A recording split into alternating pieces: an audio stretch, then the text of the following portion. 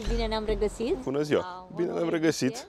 Continuăm de unde am Da, uh, de unde am oprit data trecută. Mai cald astăzi puțin, ca data trecută. Așa pare? Da. Aflăm la final, zic eu. Da. Lăsăm în spate strada aceea Rosetii, fostă Clemenței. Strada asta dădea cam primul tronson de ocupare a orașului cu reședințe particulare în București. Bucureștiul, nucleul lui fiind la Curtea Veche, s-a dezvoltat cumva concentric, dar sensibil mai mult în zona de nord, care era adăpostită cumva de Dâmbovița, adică s-a dezvoltat mult mai târziu orașul, dincolo de Râu, spre sud, de unde puteau să vină oricând turcii. Și tronsonul ăsta este tronsonul ocupat cu proprietăți deja la începutul secolului XIX.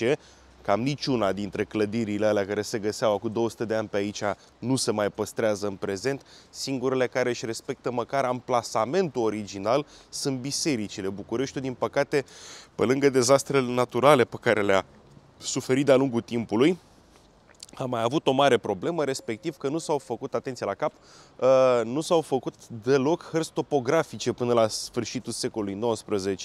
Avem un prim plan al orașului făcut de uh, doi austrieci, Ernst și Purcell, la sfârșitul secolului XVIII uh, și după aceea planul Boroțin și încă un plan făcut de cineva al cărui nume îmi scapă. Uh, Lăsăm la parte că și planurile alea au greșeli. Dacă am suprapune un plan pe planul actual al orașului, am vedea că aproape niciun fel de clădire nu își mai respectă vechiul amplasament. Toate sunt deplasate, până și trama stradală și-a modificat în timp uh, cursul. Dacă voi ați fost pe Maghieru, dar uh, majoritatea posibil să nu știe lucrul ăsta, cursul bulevardului este mult modificat, atenție, E- este mult modificat față de ceea ce era înainte, respectiv ulița Colții, că așa se numea strada care mergea înspre nordul orașului. Uh, di- Din fericire, ne bucurăm de niște fotografii panoramice ale, lui, ale Bucureștiului realizate de Carol Pop de Zatmari, pictorul care a locuit la Biserica Iene. O să ajungem la casa lui astăzi. Uh, și care ne arată cumva uh, aspectul orașului pe la 1860.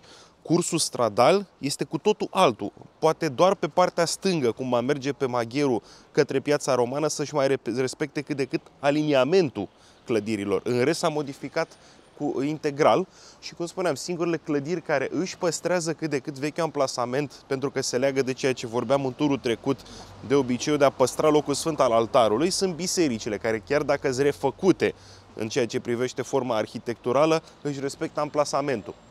Am ajuns în partea stângă, la singura casă care a rămas în forma ei originală din proprietatea Păucescu. Păucescu este unul dintre oamenii care dețin mai multe imobile în zona aceasta și care le donează treptat Bibliotecii Centrale Universitare, Fundației Universitare Carol I, ceea ce dă aripa uh, stângă a instituției care se întinde până la noi. E aripa dreaptă, de fapt, dacă stăm și privim din față, dinspre calea Victoriei. Uh, Din păcate, în perioada comunistă, clădirea asta a avut un amplasament cu totul nefast, pentru că se situa, după cum putem să vedem până astăzi, lângă sediul Comitetului Central al Partidului Comunist Român. Păi, e Partidul Comunist al... Era, era, nu mai e. Uh, și din cauza asta, evident că era căptușită cu agenții securității, pentru că trebuiau să-l păzească pe tovarășul. Aici se pare că a fost sediul uh, direcției a 5 a securității, direcția care se ocupa de filaj propriu-zis și de ascultări, așadar cea mai populară dintre direcțiile Partidului Comunist. Uh, un om care a fost implicat la vremea aceea, nu o să-i dau numele că este încă în viață, care avea cunoștințe, spunea că undeva în uh, mansarda clădirii, probabil unde vedem ogiva aceea de sus, se găsea o mitralieră de calibru mare care putea să măture foarte ușor piața, deci ipoteza aia potrivit căruia, căreia Ceaușescu a fost trădat de fapt de propriul aparat de partid, se pare că s-ar verifica. Și dacă o luăm bă, până la urmă la nivelul logicii elementare, cam așa ar trebui să fie, pentru că altfel nu se explică cum un regim înarmat până în dinți și care avea puterea de aproape 25 de ani ar fi putut să cadă așa spontan de la o manifestație populară. Doar să ne imaginăm, o mitralieră declanșată din mansarda clădirii este asupra pieței, ar fi curățat piața în 10 minute. Sună macabru, dar realmente vorbind despre asta e vorba. și drept urmare încă se mai păstrează, se văd în fațadă, e fațadă cu cărămidă aparentă și uh, în uh, succesiune de benzi, uh, se mai văd încă urmele gloanțelor trase în uh, dezordinea aceea teribilă de la Revoluție, când toată lumea știa că există niște teroriști, dar nimeni nu știe exact care sunt și de unde vin teroriștii respectiv, dar asta a dus la uh, distrugerea sau în cel puțin afectarea mai multor clădiri și clădirea arhivelor de pe Bulevardul Elisabeta păstrează până azi urmele uh, gloanțelor și aceasta a fost uh, de aproape incendiată. Este incendiu care cuprinde de fapt întreaga întregul corp de clădire al Bibliotecii Centrale Universitare la vremea aceea am vorbit data trecută de dispariția fondului de carte. În cazul ăsta clădirea a fost distrusă, încă se observă pe frontonul ferestrelor urmele incendiului și păstrându-se numai fațada s-a optat pentru o soluție care nu e nouă, e nouă în planul Bucureștiului. Asta de păstrarea fațadei și integrarea unei clădiri moderne. În cazul ăsta vedem că este un bloc de sticlă, probabil care are vreo patru etaje. Uh, așa și uh, în felul ăsta se conservă cumva vechiul fond arhitectural. Lucrul ăsta se găsește astăzi și pe strada uh, General Manu. Este vorba de casa lui Spiru Haret. O să o vedem în tur în momentul în care pornim spre nord. Și este mult mai celebru exemplu. Eu știu că e catedrala din Dresda. La un dat am fost contrazis că nu e aceea și recunosc că n-am apucat să verific.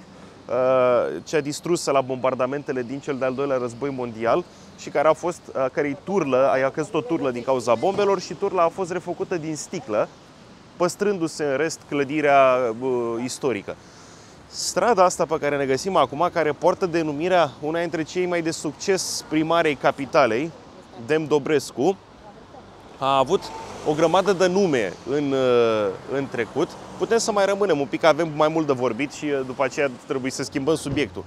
Uh, ea s-a numit Strada Vienei, s-a numit în timpul comunismului care se ocupa cu ștergerea memoriei istorice, s-a numit Onești, dar mai înainte se numea Strada Vămii și lucrul ăsta poate să deruteze un pic că, băi, ce vamă în buricul târgului. Era vama comercială, ea s-a numit în timpul fanarioților Carvasaraua, unde negustorii erau datori să se prezinte și să-și declare bunurile și să plătească implicit o taxă. Este mutat aici pe vremea lui Ipsilanti și rămâne cam până la jumătatea secolului XIX.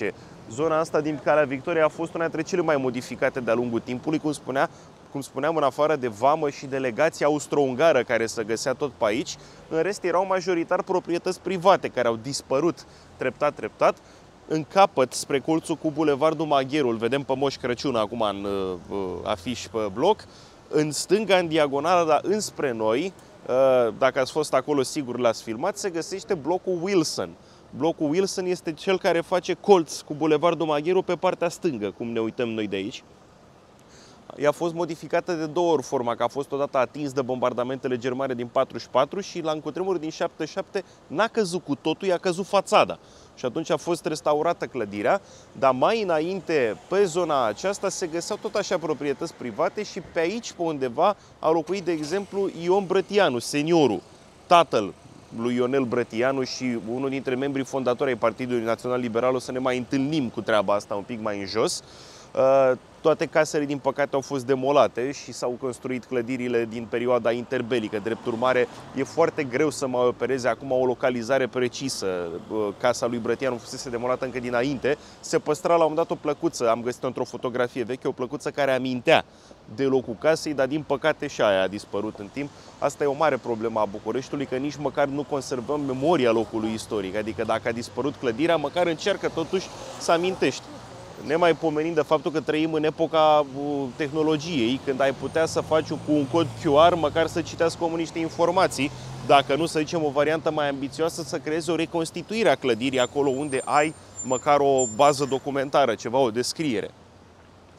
Și ne-am apropiat de o clădire care se vede că uh, are stilul neoclasic corespunzător perioadei interbelice, Adică se păstrează anumite elemente definitorii, capiteluri, încadramente ale ferestrelor, dar se vede că stilul este mai dur, mai gros, vrea să denote forță. Este ceea ce a caracterizat de altfel întreaga perioadă interbelică și ulterior, doar că am trecut ușor, ușor de la stilurile inspirate mai mult de german sau italian către stilul stalinist, unde uh, expresia cea mai uh, expresia cea mai pregnantă este uh, Casa Scânteii, actuala uh, Casa Presei Libere ne folosește latura clădirii pentru că asta ne arată anumite elemente definitorii ale stilului neoclasic, dar caracteristic perioadei interbelice.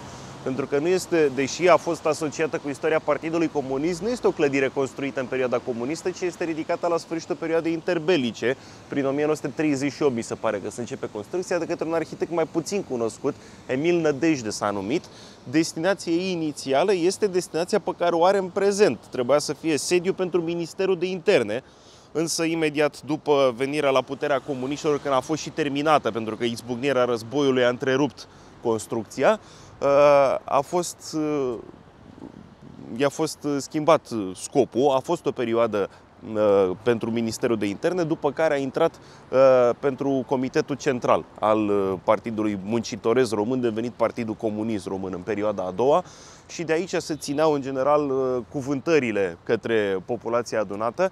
Există o istorioară care spune că Ceaușescu a vrut de mai multe ori să dărâme Biserica Crețulescu, care se vede în partea opusă, pentru că îi strica cumva vederea asupra pieței. Și aici, la 22 decembrie 1989, are loc ultimul discurs al lui Nicolae Ceaușescu, ultimul discurs public, o mai fi spus el ceva în următoarele zile, dar nu l-a mai văzut multă lume urmat de tulburarea care, într-adevăr, filmarea arată că e o tulburare cumva survenită în mulțime, că la un dat unii oameni încep să agite mulțimea.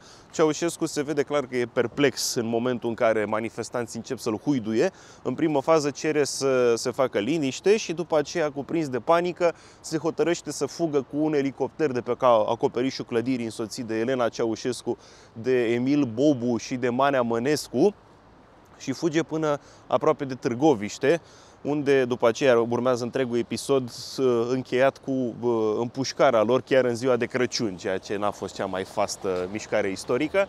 Și ulterior, după 90, după ce a fost o perioadă, mi se pare, sediu al Senatului, a redevenit sediu al Ministerului de Interne. În prima perioadă comunistă, adică în perioada dictaturii dejiste, în perioada represiunilor staliniste, în pivnițele acestei clădiri s-au produs, a produs torturarea mai multor oameni considerați ostil regimului. Eu am zis chestia asta în câteva tururi, că uh, practic este clădirea care poate fi echivalată cu Lubianca din Moscova, cu sediul KGB-ului. Nu era un loc de care voiai să te afli foarte aproape, ca să zicem așa. Dar acum o să revenim ușor în partea opusă a pieței. Despre Palatul Regal am vorbit în turul trecut și am spus că el ar fi corespuns, se vede mai bine de aici, vechiul palat ar fi corespuns aripii stânci, cum privim noi acum, și clădirea nu venea paralel cu Calea Victoriei, ci perpendicular pe ea. Deci noi ne-am fi uitat practic la latura uh, Palatului Regal, ceea ce dădea loc iarăși la mai multe construcții prin prejur, fiindcă aici n-a existat o piață din totdeauna cum este acum piața Palatului cu uh, monumentul dedicat uh, eroilor Revoluției din decembrie 89, poreclit afectos cartof în scobitoare uh, și totodată nici uh, statuia lui Maniu din față n-ar fi existat. Toată, uh, tot spațiul era mult mai îngust, Cezar Petrescu amintește că vis-a-vis de palat, deci probabil pe unde ne găsim noi pe aici, fiindcă până aici ar fi mers clădirile către Calea Victoriei, se găsea un debit de tutun. Tutunul în a doua jumătate a secolului al XIX-lea, ceea ce statele au făcut de multă vreme, a devenit monopol de stat și statul trebuia să-l timbreze ca să obțină venituri. Statul a avut tot timpul inteligența asta de a taxa viciile, de a taxa lucrurile care sunt cel mai des cumpărate, respectiv băuturi alcoolice și tutun. De asta țarul Nicolae al II-lea a avut o idee cu totul fantezistă când s-a gândit în Rusia să interzică vodka.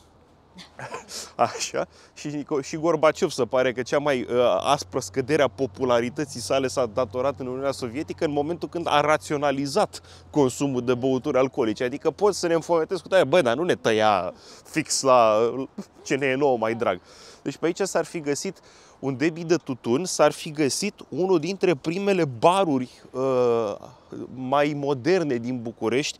Uh, am vorbit la un moment dat, dar nu cred că pe turul cu voi, de o greva studenților bucureșteni. Are legătură mai mult cu facultatea de drept, așa că o să continuăm istoria asta când o să ajungem acolo, dar o amintesc, pentru că are legătură, Carol al II-lea i-a chemat la palat pe delegații studenților uh, revoltați și uh, și-a bătut puțin joc de ei, le-a dat un prânz din ăsta foarte regal unor oameni de condiție modestă, uh, în care chelnerii, nu, ăștia nefiind obișnuiți cu metoda de servire de la Palatul Regal, le luau farfuriile din față înainte să termine, înainte să apuce de multe ori să guste. În schimb, băutură li se turna într-una și ăștia au ieșit cu stomacul gol, dar plin de băutură. Uh, au ieșit jumătate matol și se pare că au traversat tot așa și aici era undeva un bar care servea hot dog, era un bar semi-automat, adică aveai și tonomate, uh, ceea ce era o apariție inedită. Se pare că n-a prea prins în București vechi ideea asta a tonomatelor, nu prea au fost încântați oamenii de treaba asta și unde se puteau mânca uh, printre primii în București hot dogi chiflă cu cremvul și cu muștar la discreție pentru un leu. Uh, mai mulți memorialiști evocă treaba asta, cât de ieftine erau prețurile în București. Aia din Interbelic sunt revoltați de ieftinătatea care exista în secolul XIX și noi acum ne-am putea revolta pe bună dreptate față de prețurile din Interbelic, care erau mult mai jos uh, în comparație cu ceea ce aveam noi astăzi. Și revenim ușor, ușor în calea Victoriei, până o să vorbim de clădirile care încă sunt vizibile, Uh, de asta am început spunând că e foarte greu de plasat exact clădire cu clădire din cele care au dispărut în urma demolărilor.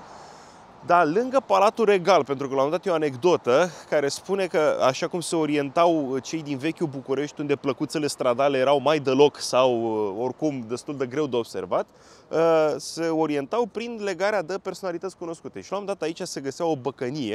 La un moment dat se pare că la Palatul Regal s-a trimis o depeșă și ce la Palatul Regal, lângă băcănia Lucutare. Pentru că Băcănia la un moment dat devenise o treabă mai cunoscută decât însăși Palatul Regal, Băcănia fiind la București, pentru bucureșteni o treabă uh, necesară cam ca aerul. Cuvântul bacal vine din limba turcă și inițial era comerciant de legume, de zarzavaturi, fie ele proaspete, fie uscate. Cu timpul s-a transformat într-un soi de magazin mixt care avea în principiu orientat spre consumabile.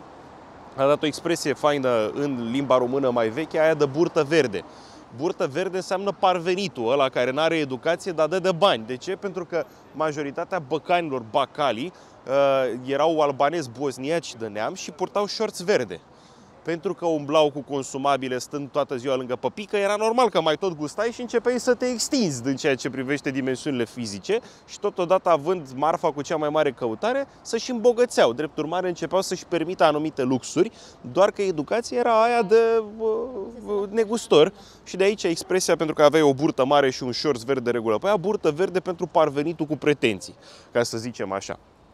Aici a fost una dintre cele mai celebre, îmi scapă numele fostului proprietar, Băcănii din București.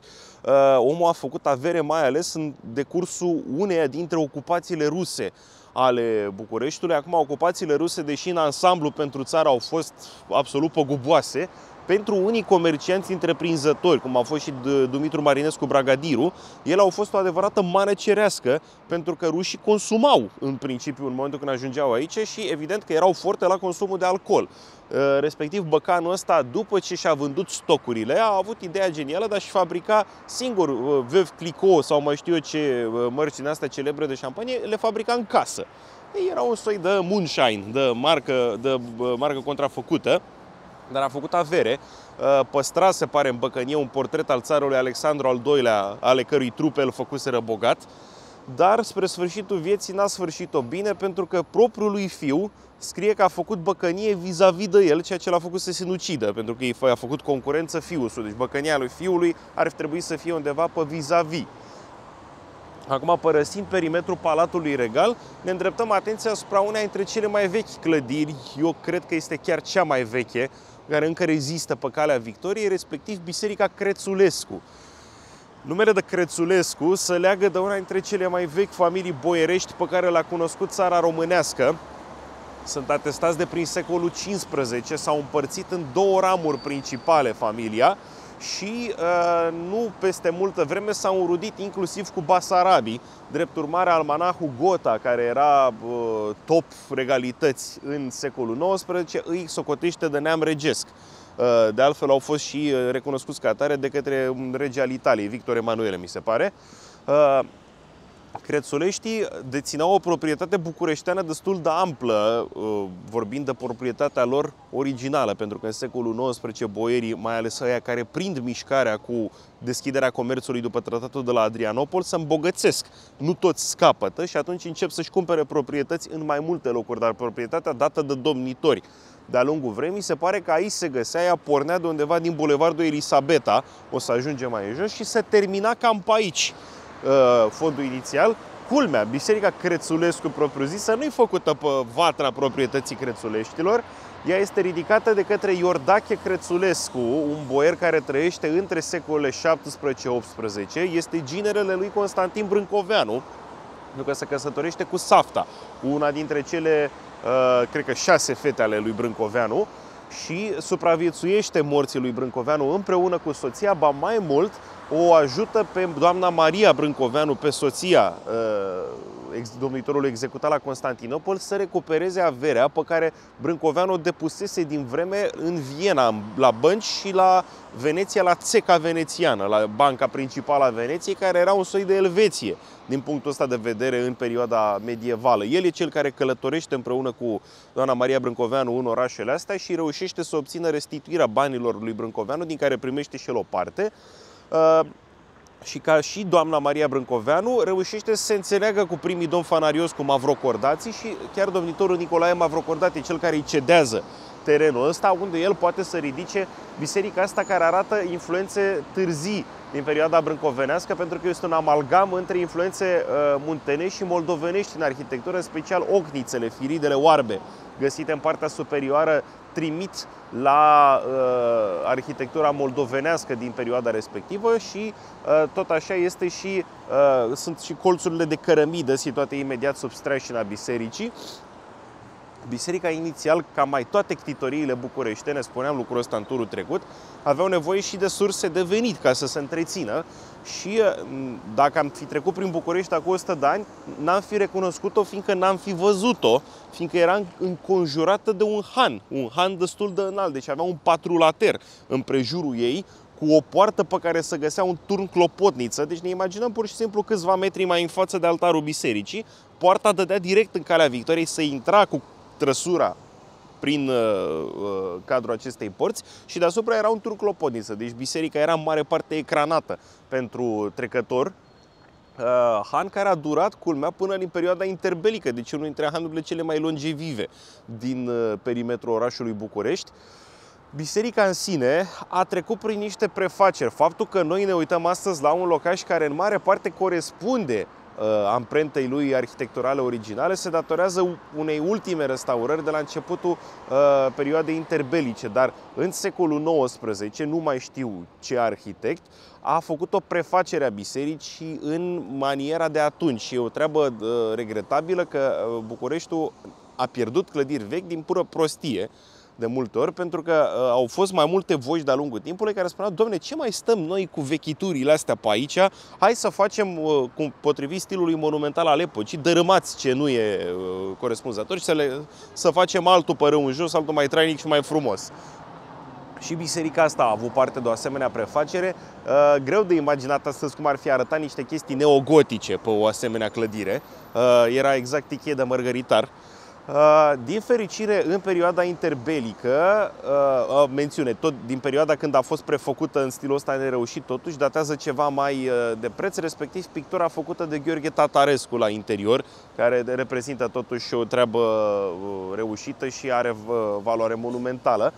Dar în perioada interbelică, unul dintre cei mai mari arhitecți restauratori ai Bucureștiului, Ștefan Balș, sper să nu încurc în cazul bisericii astea, uh, este cel care operează uh, din încredințarea Comisiunii Monumentelor Istorice. Este probabil instituția care a făcut cel mai mult bine uh, moștenirea arhitecturală a capitalei. Operează o restaurare conformă cu originalul istoric și în felul acesta putem să privim astăzi la biserică într-o formă cât de cât apropiată de forma ei inițială. Și acum uh, vorbeam că Palatul Regal nu era extins cât este astăzi, ceea ce evident că permitea în prejurul lui existența și a altor clădiri. E destul de greu să ne imaginăm că pe lângă el se mai găseau vreo două, trei imobile care adăposteau cafenele, Una dintre ele foarte bine orientată pentru că se găsea în uh, proximitatea Palatului Regal, se numea chiar Imperial, așa, iar alta se numea Kübler, pentru că era ținută de un neamț, Papa Kübler, sunt între primele cafenele pe model occidental în București, Uh, respectiv se face tranziția de la cafeneaua orientală, care nu avea mese propriu-zise, avea divanuri cu măsuțe din alea foarte joase, care îți servea ciubuc și cafea de când intrai, că se presupunea din star că da, ai venit acolo, așa, și unde se țineau taifasuri, să jucau zaruri, se trece la cafeneaua de model occidental, unde ai masă cu scaun, așa cum avem până astăzi, unde se servesc mai multe feluri de cafele, nu doar aia uh, orientală, aia la filigeană, la, la ceșcuță foarte mică, pe care, care de regulă n-avea toartă și trebuia să o bei cu degetul ridicat, venim vorba, asta este singura explicație pentru care se consideră un gest elevat să ții degetul sus, că pe ceșcuța aia mică de cafea n-aveai loc să pui toată mâna. Dar altfel este complet absurd, mai ales dacă mai ai și o unghiuță crescută lung pe deget, să ții degetul ridicat când bei altceva. Asta trecem în varianta mai occidentală, să trece de la ciubuc și narghilea la țigări și trabucuri, la țigări de foi și pe aici se strângea o parte din lumea bună a Bucureștiului, respectiv din lumea literară, Uh, era cercul literaturului al lui Alexandru Macedonski care se întrunea pe aici și care uh, era un soi de for de aprobator pentru tinerii care doreau, să, doreau să-și uh, facă o carieră literară. Tot pe aici mai venea și Mihai Eminescu. Chiar avem o relatare de la Vlahuță, care a fost un mare admirator al poetului și care spune că îl vede într-o iarnă zgribulit. Eminescu se purta întotdeauna neîngrijit și dacă avea niște bani prefera să-i dea pe cărți în loc să-și cumpere haine și spune că îl vede pe poet zgribulit venind cumva dinspre uh, actuala clădire a Fundației Universitare, dar iară e greu să ne imaginăm că trebuie să facem abstracție de tot ce e pe aici. Așa, dar venea pe stradă înspre Cafeneaua Imperial, tot bătând pasul apăsat și încercând să se încălzească, spunând că l-a gonit frigul din casă. Pentru că nu mai avusese bani de lemne de două zile, venea să se încălzească în cafenea unde se mai putea găsi un binevoitor care măcar să-l împrumute ca să poată face un pic de consumație. Tristă, uh, de fapt, imagine pentru uh, poetul nepereche, dar asta a fost uh, realitatea și tot pe aici se pare că ar fi scris Macedonski epigrama care l-a costat în ceea ce privește reputația, că atunci când s-a manifestat mai clar alienarea mentală care o să ducă la moartea lui Eminescu, uh, aici ar fi scris el o epigramă care spune că un, un X pretins poet acum s-a dus pe cel mai jalnic drum uh, și cumva concluzionează că dacă înainte era numai năuc, acum este e de-a dreptul nebun. Lucrul ăsta i-a atras oprobiu public.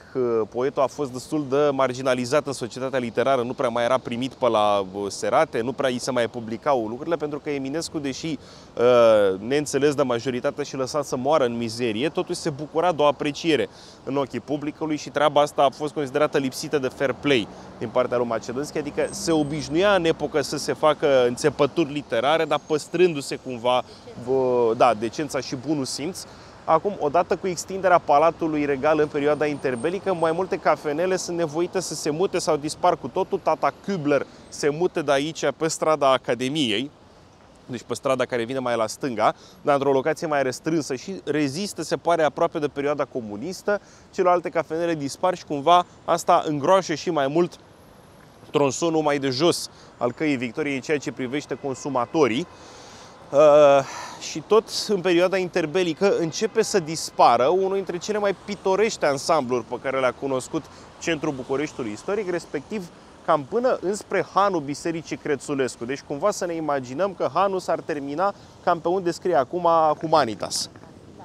Ei, răspunzând în zidurile Hanului, ăsta, dacă restul sunt greu de imaginat, ăsta e aproape imposibil, pentru că ar trebui să ștergem pur și simplu cu buretele blocul magazinului Muzica, blocul Muzica, că exact așa se numește, și blocul următor, blocul Adriatica, blocul care are un uh, soi de turn deasupra cu ceas, și să ne imaginăm, mergând paralel cu calea Victoriei, un pasaj pietonal, cum sunt cele de mai de jos, uh, este vorba de, altă dată, celebru pasaj român. Pasajul român este opera uneia dintre cei mai întreprinzători oameni de afaceri care au trăit pe calea victoriei în secolul XIX. Este vorba de un tapițer sas pe numele dumnealui Friedrich Bossel. Ăsta cumpără mai multe proprietăți boierești, face un ansamblu de case care porneau de undeva de pe la Teatru Odeon și se întindeau până aproape de intersecția cu Câmpineanu. Deci era unul dintre marii proprietari de pe calea Victoriei. și totodată cumpără și terenul de vis-a-vis, unde, fiind un conglomerat de prăvălioare, omul ce face? Pavează strada, ceea ce era o treabă în premieră. Calea Victoriei însă și a fost uh, pavată ca lumea prima oară până la 1850-60.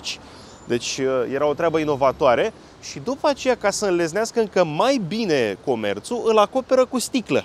Face uh, acoperiș de sticlă, exact cum are pasajul Villa Cross. Astăzi, dacă ne mișcăm eficient, o să ajungem acolo și o să putem să avem un reper vizual mai clar. Așa, și în felul ăsta creează... Aici, nu? Da, deci ștergem blocurile astea două și ne imaginăm un pic mai jos, pentru că asta am spus o data trecută, Calea Victoriei pleacă, în- nu, pleacă în pantă înspre apus. Ea e făcută pe o coastă de deal. Brâncoveanu a gândit-o așa tocmai ca să nu se strângă apa pe cursul drumului și atunci orice vine la apus, la vest de Calea Victoriei, este automat mai jos.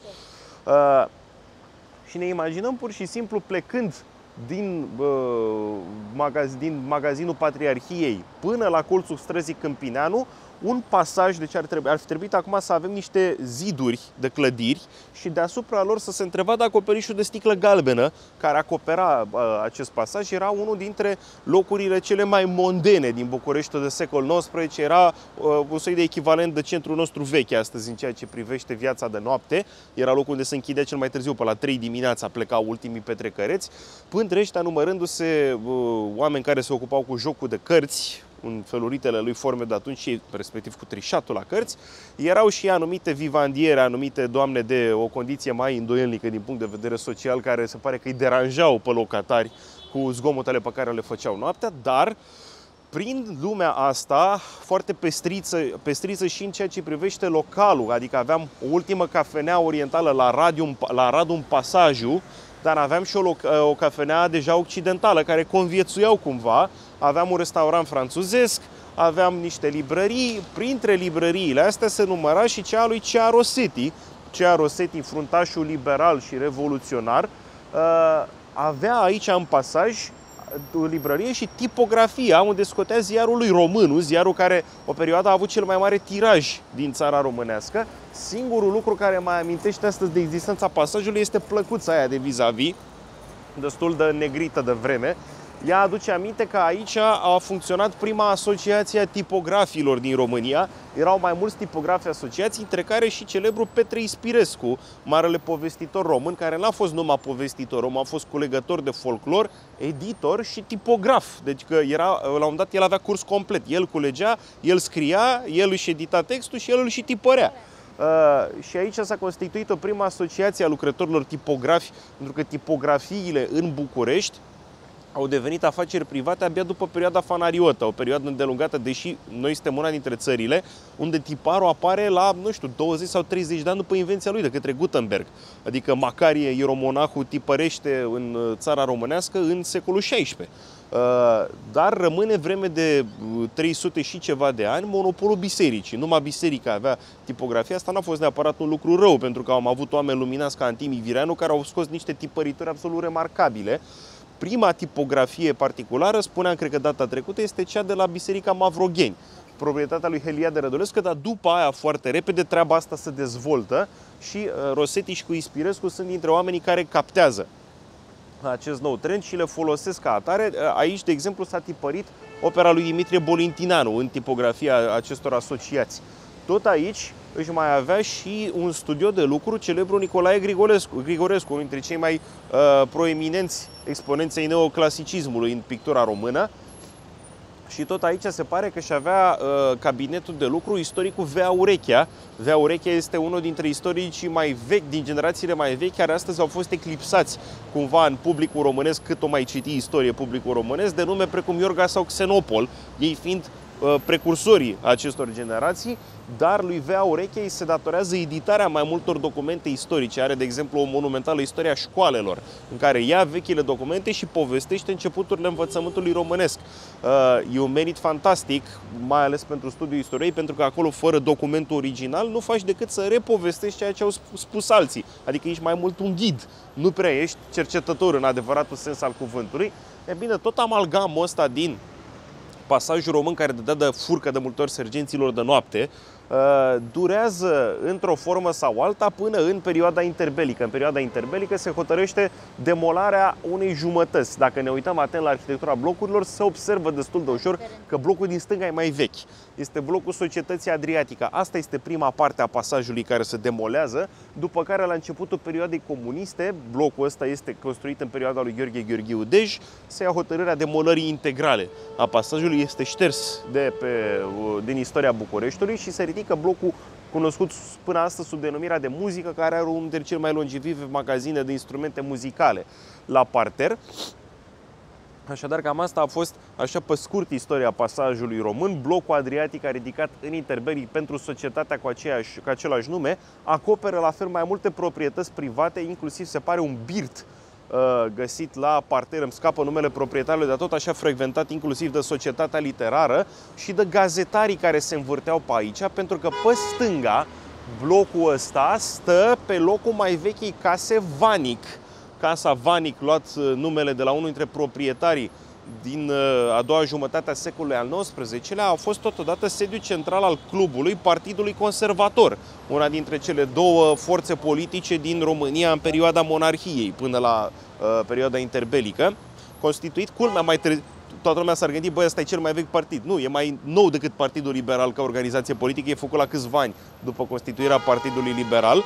Era, în general, opinie corectă, partidul marilor moșieri, dar nu numai, că se găseau moșieri și pe la liberali, Uh, și a fost reprezentat de oameni politici cum ar fi Lascăr Catargiu, Gheorghe Grigore Cantacuzinona Babu, Tache Ionescu o perioadă a activat în cadrul Partidului Conservator, Titu Maiorescu, alte personalități și aici totodată a funcționat o vreme destul de lungă redacția ziarului Timpu, oficiosul Partidului Conservator, în cadrul care a existat o triadă de redactori, respectiv uh, Mihai Eminescu, Ioan Slavici și Ionuca Caragiale care au scris la timpul. Mihai Eminescu a fost de altfel redactor șef al rubricii cotidiene a ziarului uh, Timpu, vreme de aproape șase ani, dacă nu mă înșel eu. Avea totodată un președinte foarte original, Alexandru Ciurcu, care a fost un tip cu foarte multe inițiative, nu doar în plan editorial, o vorbă lungă care îi dispera pe redactorii ziarului că în momentul când făcea câte o ședință de redacție începea să vorbească, nu se mai termina și pe urmă ăștia erau disperați că nu, știri, nu scriseseră articolele uh, pentru numărul care urma să apară original și ca formă de trafic pe Calea Victoriei pentru că venea cu o șarețică, deci cu o trăsură cu două roți, trasă de doi ponei. Da, deci avea doi căluți mici și așa cu care venea la redacție, după aia s-a ocupat de alte lucruri. Uh, și aici a funcționat până la desfințare, din câte știu eu, Clubul Partidului Conservator, partid care vorbeam uh, data trecută cu Titu Maiorescu, a încercat cumva o progresie mai uh, durabilă a României, cât de mult a funcționat programul politic este altă discuție. Uh, în perioada interbelică, când deja se modifică aspectul clădirii, se pare că, adică nu se pare, pe colțul ăsta a funcționat probabil cea mai celebră băcănie pe care a cunoscut-o Bucureștiul interbelic este oricum în zona de Băcănii, dar aici a funcționat băcănia, băcănia numită lui Dragomir Niculescu. Ăsta este un negustor care face mare vâlvă în perioada interbelică pentru că, uh, dispunând de bani și de o rețea de furnizori foarte bine aprovizionată, reușea să aducă mărfuri proaspete. Nu, astăzi nu se pare fantastic în era supermarketurilor să ai uh, vișine, uh, struguri, pepene în mijlocul iernii. Dar pentru oamenii din perioada interbelică era ceva ce ținea de domeniul științifico-fantastic fantasticului să poți să mănânci, bine, să poți să mănânci dacă îți dădea buzunarul, fructe proaspete la orice moment din an. Lăsând la o parte avea un acvariu cu pești, cu languste vii, ceea ce iarăși era fabulos. Uh, eu am o vorbă că cu cât e mai lungă durata claxonului, cu atât mai scurtă e... Da, mă rog. Uh, așa. Uh, și totodată băcăniile astea serveau și ca un soi de local, eu cel mai bine le-aș echivala în ce, ce există astăzi cu localurile de tapas spaniole. Adică erau locuri unde puteai să vii să iei o gustărică, nu serveai ca la restaurant mâncare gătită, nu în feluri complexe, dar pentru un aperitiv, ca așa se numea, adică o icră, un babic, o o, o salată de vinete. Da, da, da, da, se putea servi, plus un paharel de ceva bun. Uh, foarte variată piața de băuturi. La un moment dat chiar o cere un studiu aparte să vezi exact ce uh, serveau oamenii ăștia pe atunci, că pe lângă cele tradiționale țuici, palinci, uh, lichioruri și cutare, existau fel de fel de băuturi străine undeva pe calea Victoriei, chiar la Capșa, dacă nu mă înșel, a venit pentru prima oară absintul în România, prin anul 1860. Așa, și altfel, uh, chelnerii de la Băcăni, că erau chelneri și vânzători, uh, erau recunoscuți pentru foarte bu- buna lor dexteritate, că reușeau cu o mână să toarne un șpriț, cu alta să taie unui client mâncarea în farfurie, uh, puteau să mai vorbească cu un al treilea să vadă cu ce să-l servească. În romanul lui Cezar Petrescu, Calea Victoriei, la un dat dată scena eroului principal, care student, unul dintre eroii principali, să zicem, uh, care student și muritor de foame, are ghinionul mergând hămesit pe Calea Victoriei să dea cu nasul fix în galantarele lui Dragomir Niculescu și să aibă uh, tot așa o strângere a stomacului, dându seama că banii pe care îi câștiga el într-o lună, două, nu ajungeau să cumpere nimic din băcănia respectivă. Uh, Bineînțeles că erau băcănii și cu livrare la domiciliu. Toate magazinele uh, mai de- luxoase de pe Calea Victoriei aveau sistemul ăsta occidental, că la un moment dat am fost și noi în pas cu Occidentul, de a-ți livra bunurile comandate acasă și de multe ori se întâmpla că asta trecea boieroaica sau uh, soția de om îmbogățit cu caleașca, trimitea feciorul să lase lista și îi sosea frumos acasă uh, ceea ce își comandase. S-a făcut o încercare de refacere a magazinului ăsta, undeva mai sus un pic, cam pe unde se văd niște, o fațadă cu geamuri la stradă. S-a deschis înainte de pandemie, deci prin 2018, cred, o magazin, restaurant local, nu știu ce era, care purta firma Dragomir Niculescu. Sunt convins că n-avea nicio legătură cu proprietarul original, dar inițiativa a fost bună. Din păcate n-a supraviețuit pandemiei.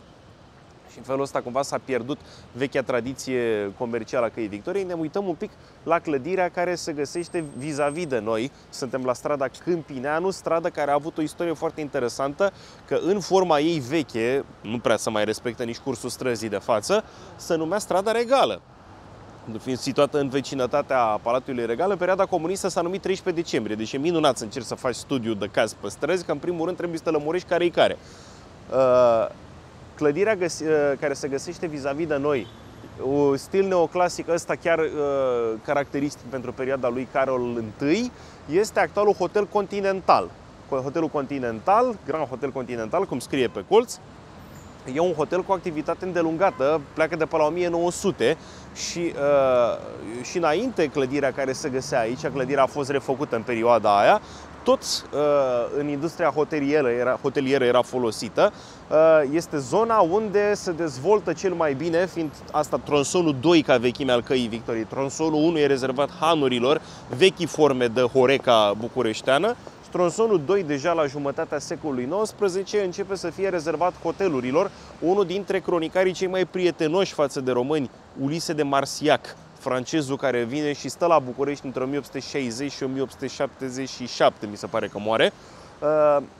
Uh, remarcă foarte bună calitate a hotelurilor care se găseau evident în centrul orașului. Nu vorbim de hoteluri situate mai la periferie, care erau adevărate pepiniere de ploșnițe și de purici, uh, unde bă, aveau și puricii păduchi. Uh, Dar în zona centrală orașul se modernizează foarte repede și atunci hotelul ăsta se remarca odată prin condițiile foarte bune de cazare, uh, raportat la standardele epocii și în al doilea rând prin restaurantele excelente pe care le dețineau, hotelul care a s-a, uh, existat, a precedat hotelul Continental se numea Broft, pentru că era deținut de un neamț și uh, neamțul ăsta avea una dintre cele mai, unul dintre cele mai bune restaurante franțuzești în cadrul hotelului. Uh, faptul că avea condiții atât de bune de cazare l-a făcut și ținta unor celebrități, respectiv l-a găzduit la un moment dat pe fratele împăratului Napoleon al III-lea al Franței și o legendă spune, majoritatea istoricilor serioși o infirmă, că aici Uh, e momentul cheie pentru redenumirea străzii. Uh, nu mai știu dacă am făcut istoricul uh, străzii. N-am, nu l-am făcut, perfect. Așa, dăm acum intro și după aceea o să-l continuăm mai încolo. Strada s-a numit ani de zile, sute de ani, Podul Mogoșoaiei. Numele ei se schimbă în calea Victoriei în momentul războiului nostru de independență, 1877-1878, pentru că pe aici au defilat către Palatul Regal trupele române care fuseseră victorioase în războiul cu Imperiul Otoman. Legenda spune că la un geam din hotelul ăsta, dar iar nu e clădirea asta, e clădirea veche, ar fi stat și ar fi privit marșul trupelor române, marele învins de la Plevna, Osman Pașa, celebru comandant automat care i s-a închinat o, o melodie cântată până astăzi în Turcia, Plevna, Plevna Marș, că e unul dintre eroii Imperiului Otoman, unul dintre cei mai capabili comandanți pe care a avut Imperiul în secolul XIX. Care noi indirect ne-a făcut un bine, pentru că reușind să bată în primă fază trupele ruse, l-a determinat pe Marele Duce Nicolae, comandantul lor, să ceară intervenție trupelor române și în felul ăsta am putut pretinde și noi niște condiții mai avantajoase de pace. Legenda spune că după ce s-a predat uh, în, în fața unui comandant român și i-a dat sabia care se păstrează până astăzi la Muzeul Militar, Osman Pașa, fiind trimis către Rusia, ar fi uh, oprit la București și a putut să privească din uh, camera hotelului trupele românești victorioase cum defilau pe calea victoriei. A fost un soi de salut, așa se pare. E o legendă cu totul, dacă mă întrebați pe mine, dar a fost un soi de salut uh, între bătrânul militar învins și tânărul principe Carol I, victorios al românilor. Și uh, tot aici se pare că ar fi stat în prima parte a venirii sale la București și doctorul Carol Davila, cel care ne-a pus nouă bazele învățământului medical în uh, țările române. Acum, uh, zona asta e foarte densă în hoteluri și multe dintre ele s-au succedat pe aceleași locații, doar schimbându-și firmele. Adică aici mai avem, de exemplu, hoteluri precum Hug sau Frascati. Uh, la Hug se pare că a lucrat fostul bucătar francez al regelui Carol I, care era reputat în București, cu, având o bucătărie excelentă, și un bucătar renegat de la Paris, care fusese bucătarul unei mari personalități franceze, îmi scapă numele ei acum, care la fel a venit la București, care oferea niște mese absolut fabuloase. În schimb, în uh, diagonală, unde se găsește blocul Adriatica, se mai găseau două cafenele, respectiv Fialkovski și încă un al cărui nume, uh, și cofetăria Giovanni. Așa, uh, și mai e una italiană, firar să fie, îmi scapă numele în momentul de față, dar sper că mi-l amintesc. Uh, deci, iarăși, ștergem blocul, se termina pasajul român și undeva un pic mai jos se găseau aceste două localuri de cafenele. Fialkovski a rămas celebru pentru că este primul care uh, aduce jurnale străine Uh, pentru clienții de la cafenea care le puteau citi gratis contra consumației. Iară sună un fapt total banal, mai ales că noi trăim în epoca de dispariția presei scrise, că toată lumea scrolluiește pe telefoane, dar pentru oamenii care puteau citi la vremea aia, că nu erau foarte mulți, faptul de a avea acces la presa străină și a fi conectat direct cu evenimentele din afară, trăim într-o lume în care s auzea de anumite chestii la câteva luni distanță după ce ele se petrecuseră, era un fapt absolut remarcabil și pe aici era frecventată de boema literară și se mai găsea un birt unde proprietarul, la cererea lui Dobrogeanu Gherea, viitorul militant al mișcării socialiste, făcuse în față o cameră pentru uh, sărăcime. Deci se serveau aceeași mâncare, numai că pentru oamenii cu stare ea se servea la un preț, iar pentru cei săraci se servea la sfert de preț. Dar altfel mâncarea era neschimbată. Asta e o dovadă de altruism care încă mai exista la vremea respectivă și tot ai Comorelli, se numea uh, cofetăria italiană și îl moștenește pe primul fabricant de înghețată cunoscut din București, în anume Giovanni, venit aici în prima jumătate a secolului XIX, era primul care a adus uh, gelato italiano la București. Noi serveam înainte înghețată, dar serveam dondurma, aia turcească, care are ceva rășină incorporată și atunci devine foarte elastică, de pot să facă băieții din Turcia fel de fel de acrobații cu ea. Ei, uh, toată partea asta a căii Victoriei cumva marchează, din punct de vedere gastronomic, trecerea de la spațiu oriental la spațiu occidental. Nu ne e mult mai clară majorității că toți am prins într-un fel sau altul perioada anilor 90 când era pur și simplu foame pentru orice era occidental. Nu conta că e bun sau prost, pentru că ne saturasem pur și simplu de ceea ce se găsea pe piața autohtonă, doream să primim orice era de fapt nou. E, la fel se întâmplă și cu 200 de ani când ieșim de sub fanarioți, și toată lumea absolut săturată de bucătăria și de cofetăria orientală, de saraili, de baclavale, de cutare, vrea nou. Și atunci ăsta vine și știa să fabrice înghețată italienească, alea care se trebuie amestecate foarte bine. Uh, și o fabrica se pare într-o cămăruță sub cheie, ca nimeni să nu ia tehnica de fabricație și în felul ăsta să-i fure uh, clienții. Uh, cei care l-au detronat în cele din urmă au fost frații Capșa, dar discutăm în momentul când ajungem la Casa Capșa, deci este iarăși un loc foarte încărcat în ceea ce privește uh, industria hotelieră și industria restaurantelor și a cafenelelor. Uh, acum, bineînțeles că nu putem să ratăm să discutăm despre clădirea care s-ar fi găsit aici și de la care se mai păstrează numai frontispiciu. Nici ăsta nu este cel original, dar e meritul uh, hotelului actual care a făcut măcar frontispiciu ca să ne aducă aminte ce se găsea aici, pentru că la jumătatea secolului XIX aici se inaugurează primul teatru național din România și uh, implicit din București. Uh, locul inițial fusese teri- terenul unui han ridicat de un mitropolit al țării românești, Filaret, uh, Filaret al doilea. El îl lasă hanul și cere uh, ca în cazuri de ciumă din veniturile hanurilor să se întrețină spitalele. Deci este un om, e, e un episcop care într-adevăr a lăsat o moștenire impresionantă, dar majoritatea are treabă cu dealul Filaretului că îi poartă numele. E, uh, hanul ăsta încă se găsește d- după perioada fanariotă, dar la un moment dat se părăginește, se dărâmă și aici cei care au fondat Societatea Filarmonică Română, deci prima noastră societate culturală care și-a dat seama că pentru a ne înscrie în rândul națiunilor europene civilizate, avem nevoie, între altele, pe lângă Ateneu și Academie, și de un teatru național. Pentru că altfel nu ne putem socoti națiune civilizată și automat trebuie să găsești și un local pe măsură pentru un asemenea teatru. Noi am avut primul teatru, am vorbit de el în primul tur, cel de la Cismeaua Roșie al domniței Ralu, se juca în grecește și primele piese în limba română s-au făcut unde se găsește acum Casa Capșa, în sala Slătineanu. După premierile astea, uh, lăsând la o parte că ne trebuia și literatură teatrală și aici Ion Heliade Rădulescu și cu alții au avut un merit teribil pentru că fie au tradus, fie au compus ei uh, piese, Uh, mai intră și anumiți compozitori occidentali veniți la București, sper să nu-l încurc pe ăsta, dar cred că e Eduard Wachmann, da, nu e Flechtenmacher. Eduard Wachmann face o primă uh, operă, respectiv Baba Hârca, care era celebră la București. Celebrul actor Ieșan Matei Milo a venit la un moment dat la București și a jucat-o și a fost pentru prima oară când s-a cerut de trei ori să se rea spectacolul pentru că s-a tot umplea audiența și nu reușeau să facă față. Dar în cele din urmă trebuie să ajungem să și construim un teatru și se face acest local. Inițiativa îi aparține domnitorului Gheorghe Bibescu. Uh, personalitate destul de controversată, dar în ceea ce privește cultura a fost receptiv la nou.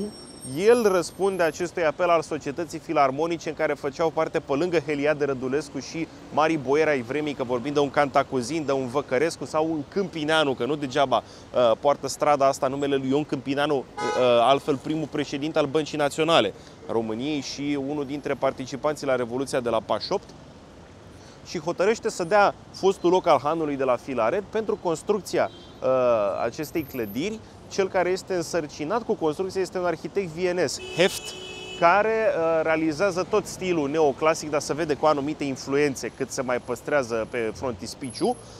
Clădirea să trebuie să face în stilul românesc, să începe în timpul domniei lui Bibescu, să întrerupe la Revoluția de la 1848 și reușește să fie inaugurată abia în timpul domniei uh, succesorului său și fratelui său, de altfel, Barbu Știrbei.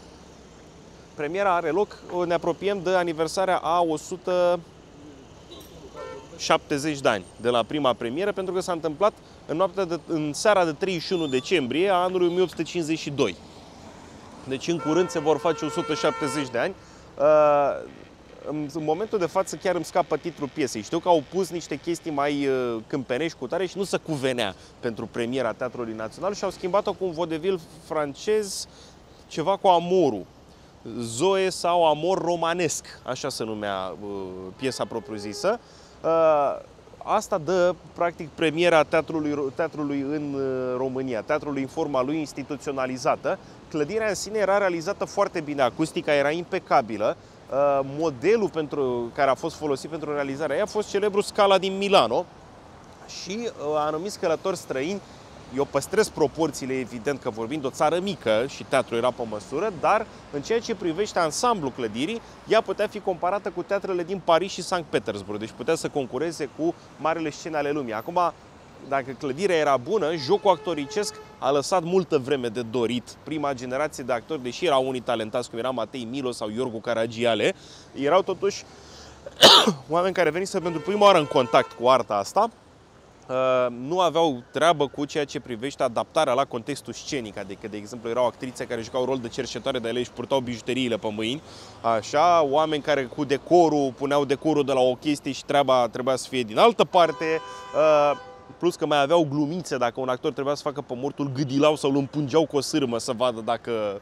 uh, clipește sau ba, în, dacă aveau o recozită comestibilă, trebuia să mănânce ceva în loc de brânză, li se dădea o pastă de carton, ceva cu un praf pe deasupra ca să se nece. Uh, se făcea un soi de comedie, de amalgam. Așa, nici publicul nu era între cele mai adaptate. La un moment dat, de exemplu, două surări foarte frumoase îmi scapă numele lor acum, uh, aveau mare priză la ofițerii ruși care veniseră aici ultima oară în timpul războiului nostru de independență și cum la vremea aia se permitea consumația la lojă, ăștia servesc o cantitate apreciabilă de șampanie în timpul spectacolului și încep să le strige la bis și în momentul când asta refuză să mai iasă, ăștia se iau cu asalt la propriu scena și colegele, cele două surori sunt evacuate cu sprijinul colegilor prin spatele teatrului pe undeva și uh, își petrec vreo oră cocoțate într-un copac ca să nu le vadă rușii. Deci era o atmosferă de înformare, să zicem, dar treptat lucrurile se așează. Aici vine, de exemplu, cu trupa lui Iorgu Caragiale, preluat ulterior de Mihai, uh, Mat, cred că Matei Pascali, sper, sper să nu încur numele mic, Pascali e numele de familie, vine să lucreze prima oară în București și Mihai Eminescu prin 1867, deci la vârsta de 17-18 ani, ca sufleur și copist la Teatrul Național. Sufleurul este acela care stă într-o boxă uh, scufundată în scenă și care îi suflă actorului dacă și-a uitat replicile. Respectiv, copistul era cel care la vremea aceea fie copia, fie traducea uh, piese. Era o muncă pe cât de grea, pe atât de prost plătită și mai ales că, așa cum am spus, nu eram destul de profesioniști în ale teatrului la vremea respectivă. N-a stat foarte mult Eminescu. Am avut o perioadă când a fost plecat din București până să așeze definitiv la 1877. Uh, Iorgu Caragiale, unul dintre pionierii teatrului românesc, evident că e înrudit cu uh, marele dramaturg uh, Ion Luca Caragiale, uh, a fost nevoit în cele din urmă să părăsească scena teatrului plin de datorii. Teatrul a intrat pe mâna lui Lucia Rosetti, care a reușit să facă o administrație bunișoară, dar după aia, fiind chemat în guvern, a lăsat teatru și l-a lăsat lui Matei Milo. Acum, Matei Milo corespunde chestia aia din fotbal, că bunii jucători de regulă dau, sunt niște antrenori execrabili. Uh, cu excepția lui Hagi. Așa. Uh, Matei Milo a corespuns, din păcate, zicalei ăsteia și nu s-a priceput deloc bine să administreze teatru. Bine, nici sprijin de la guvern n-a, n-a avut pe cât ar fi meritat. Și drept urmare, ultima piesă juca pe cineva care exact așa înglodat în datorii, la un dat se retrage, dar e salvat. Și el spune, pe mine n-are cine să mă salveze, așa că eu mă retrag de tot. Și uh, a părăsit în felul ăsta Teatrul Național. Treptat însă s-a transformat într-un obicei al societății să mergi la teatru, s-au creat și niște generații de actori. Aristița Romanescu, ulterior, uh, cum spuneam, uh, Pascali, nu încerc să nu-i stâlcesc numele, deci mai bine îl scot pe la mic până mi-aduc aminte care era exact. Uh, și ulterior venind către perioada antebelică cu Petre Liciu și cu uh, Aristide Demetriade, oameni care deja sunt considerați titani, nu mai vorbesc de Lucia Sturza Bulandra și uh, ceilalți, uh, treaba cu teatru devine profesionist în România și cumva era de bon ton. Nu făceai parte din societatea bună dacă nu aveai cel mai probabil o lojă a ta uh, cu abonament ținută la teatru. Uh, era o, de altfel o treabă care cumva uh, regula și vestimentația pe calea Victoriei. Uh, eleganța pe calea Victoriei era, dat, era definită de Ion Ghica pentru secolul XIX ca fiind abilitatea de a nu te face remarcat în niciun fel. Deci să nu fii nici ostentativ îmbrăcat, să nu fii nici uh, uh, șleampăt, ca să zic așa. Uh, domnii aveau o ținută pentru dimineață, aveau o ținută de amiază și aveau ținuta de gală de seară în momentul când se îndreptau spre Teatrul Național și în ceea ce privește directorii teatrului, se remarcă prin mai multe personalități, numesc între altele unul dintre cei mai longevivi, respectiv Liviu Rebreanu, uh, care au deținut direcția teatrului. Din păcate, istoria uh, Teatrului Național uh, pe care majoritatea să îl știm la universitate, cum se întrerupe istoria clădirii de aici, se întrerupe după ce la 23 august 1944 noi întoarcem arabele împotriva Germaniei naziste și în replică Luftwaffe, aviația germană bombardează Bucureștiul. Din păcate, câteva bombe cad și pe Teatrul Național. Majoritatea sunt de acord, majoritatea istoricilor, că nu a fost vorba de o distrugere integrală a clădirii, de altfel sunt și fotografii din epoca care arată că sunt pagube, dar nu ireparabile. Și uh, principala teorie este că autoritățile comuniste venite ulterior la putere, pentru că le lipseau fondurile necesare refacerii teatrului, au preferat să dea vina pe hitlerii și pe vechiul regim, pe l'ancien regim, elas, trebuie să demolăm teatru, se demolează teatru și uh, după aceea se face tranziția către piața universității, repet, e o clădire care se pare că putea să fie salvată. Din păcate nu s-a întâmplat asta. În perioada comunistă aici a funcționat un magazin, mi se pare că de pescărie uh, sau ceva de genul acesta, pentru că am prezent să fie sediul hotelului pe care îl vedem până acum. Dar uh, mai înainte să traversăm, mai amintim un lucru. Dacă acum să spunem că principala piață de pe traseul Căii Victoriei este piața Palatului, piața Revoluției, centru mai înainte, până în perioada uh, celor de război mondial, era aici. Aici, în ceea ce se numea piața teatrului, pentru că aveai principalele hoteluri și principalele cafenele și teatru, principala sală de evenimente. Aici se strângea toată lumea bună și aici are un istoric destul de interesant legat de traficul de pe calea Victoriei. Să luăm acum, dacă tot am ajuns la capitolul ăsta, să luăm istoria străzii propriu-zis, adică să mergem la nivelul pavajului. Calea Victoriei a împlinit anul ăsta 330 de ani. Ea este trasată la 1692 de către Constantin Brâncoveanu. Este primul drum trasat sistematic în București, pentru că, în general, drumurile în București se făceau după o rețetă foarte complexă, respectiv trânteau un o casă aici, un o casă aici și ce rămânea la mijloc, ăla era drumul. De-aia majoritatea erau extrem de sinuoase și uh, nu prea permiteau o circulație ca lumea. Exista o legendă la un moment dat că se măsura lungimea drumurilor vis-a-vis de câți oameni puteau să meargă cot la cot pe el și că majoritatea drumurilor nu săreau de 3-4. Deci o situație drastică, să spunem așa. E, Brâncoveanu e primul care taie un drum aproximativ drept, că nici ăsta nu-i drept, către proprietatea lui de la Mogoșoaia. Uh, îi se spunea pod, pentru că fiind una dintre principalele artere, mai erau încă 3 sau 4 în București de felul acesta, era podit cu bârne de stejar. Erau niște dulapi din stejar de vreo 6-7 metri puși pe uh, lățimea drumului și care erau fixate cumva pe marginea lui de altele perpendiculare care se numeau urși și care le fixau să nu se deplaseze. Uh, treaba asta era o soluție, să spunem, ingenioasă, dar fiindcă Bucureștiul era înconjurat în perioada medievală de un inel de păduri, din care acum au rămas, mulțumim, uh, au rămas doar două enclave la Băneasa și la Puznicu, pentru că majoritatea pădurilor s-au băgat în drumuri se pare că la Obor era audita mai pădurea și că acolo era un atelier pentru cei care fabricau uh, aceste podini, de, uh, erau atelierele podarilor. Treaba era ingenioasă, dar nu era cea mai durabilă cu putință, pentru că uh, asta evident că putrezeau. Lăsăm la parte că nu exista trotuar pe vremea aia, deci primul trotuar s-a ridicat, noi stăm probabil pe primul trotuar din România. S-a făcut din piața teatrului până la Ateneu, în 1867. Deci până atunci, vreo 200 și de ani, lumea umbla valma pe drum, trăsuri, călăreți, pietoni, toți la grămadă. Pietonii se puteau trezi fie călcați la dreptul de un cal sau de o trăsură. De altfel, Calea Victoriei dă și prima reglementare pentru viteză din istoria noastră, ghici când? 1800, clar. Nu mult, 1802. Deci când nu avem mașini, Constantin Ipsilanti Dar dă... nu, nu pot să-mi închipui ce viteză avea ăla de, s-a dat reglementare pentru S-a dat reglementare pentru că a fost un accident grav, a călcat o femeie, au fărâmat-o, zice acolo, și încă și astăzi pătinește, deci n-au omorât-o, un, vi- un vizitiu al unui boier la Motescu. Drept urmare, Constantin Ipsilati dă poruncă spunându-se că să se privegheze de către uh, agie, de către poliția de atunci, să nu se mai întâmple astfel, a, as, astfel de lucruri, că altfel foarte se vor pedepsi.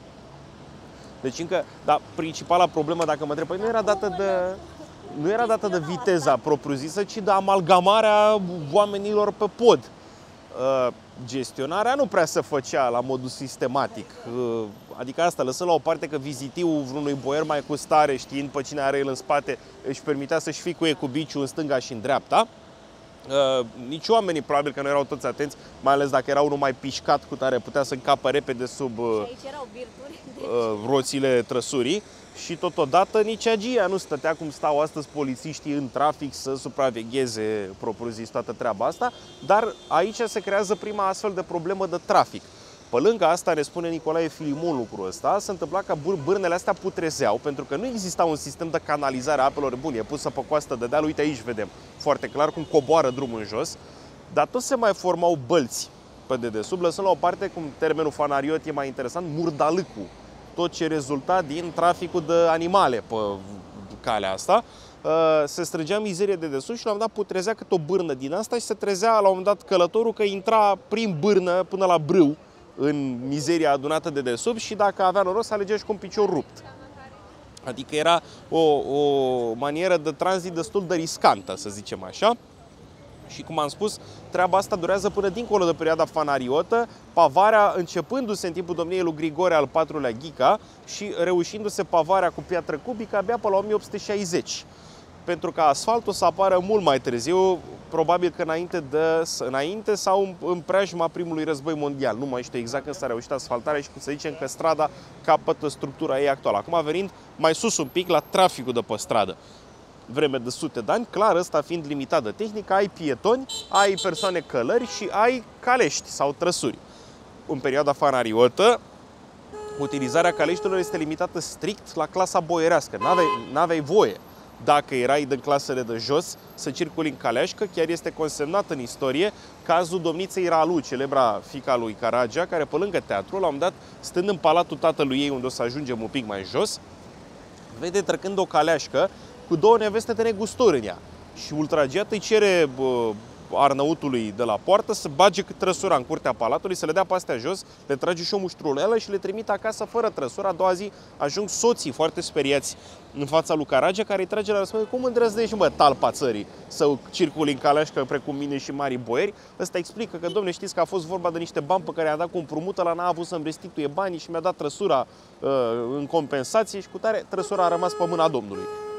Traficul, să zicem că se uh, regularizează puțin în sensul că să permite circulația trăsurilor uh, după perioada fanariotă, când începe un mare trafic cu trăsuri de la Viena. Că nimic nu-i nou.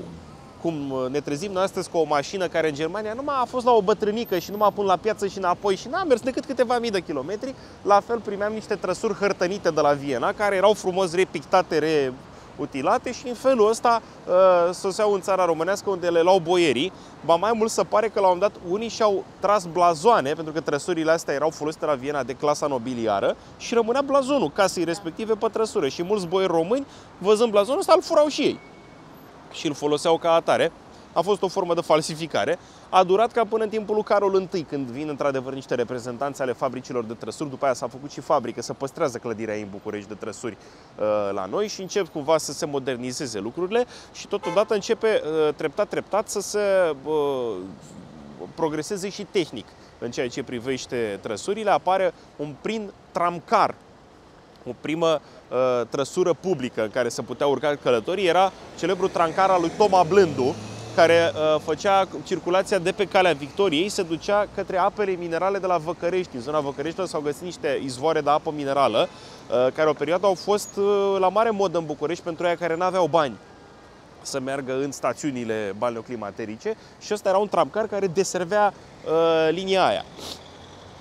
Pe lângă tramcar se diversifică și traficul, vorbeam de șareta lui Alexandru Ciurcu care venea la așa și apar și birjarii E, cu bijarii artă istoria, acum mă gândesc dacă tot mai povestim așa stând pe loc, dacă n-ar fi bine să părăsim intersecția asta hiperclaxonată și măcar să mergem uh, pe vis-a-vis. Uh, termenul de birjari este rusesc. Birjari, uh, pentru că erau ruși de neam, erau de fapt staroveri, vechi credincioși.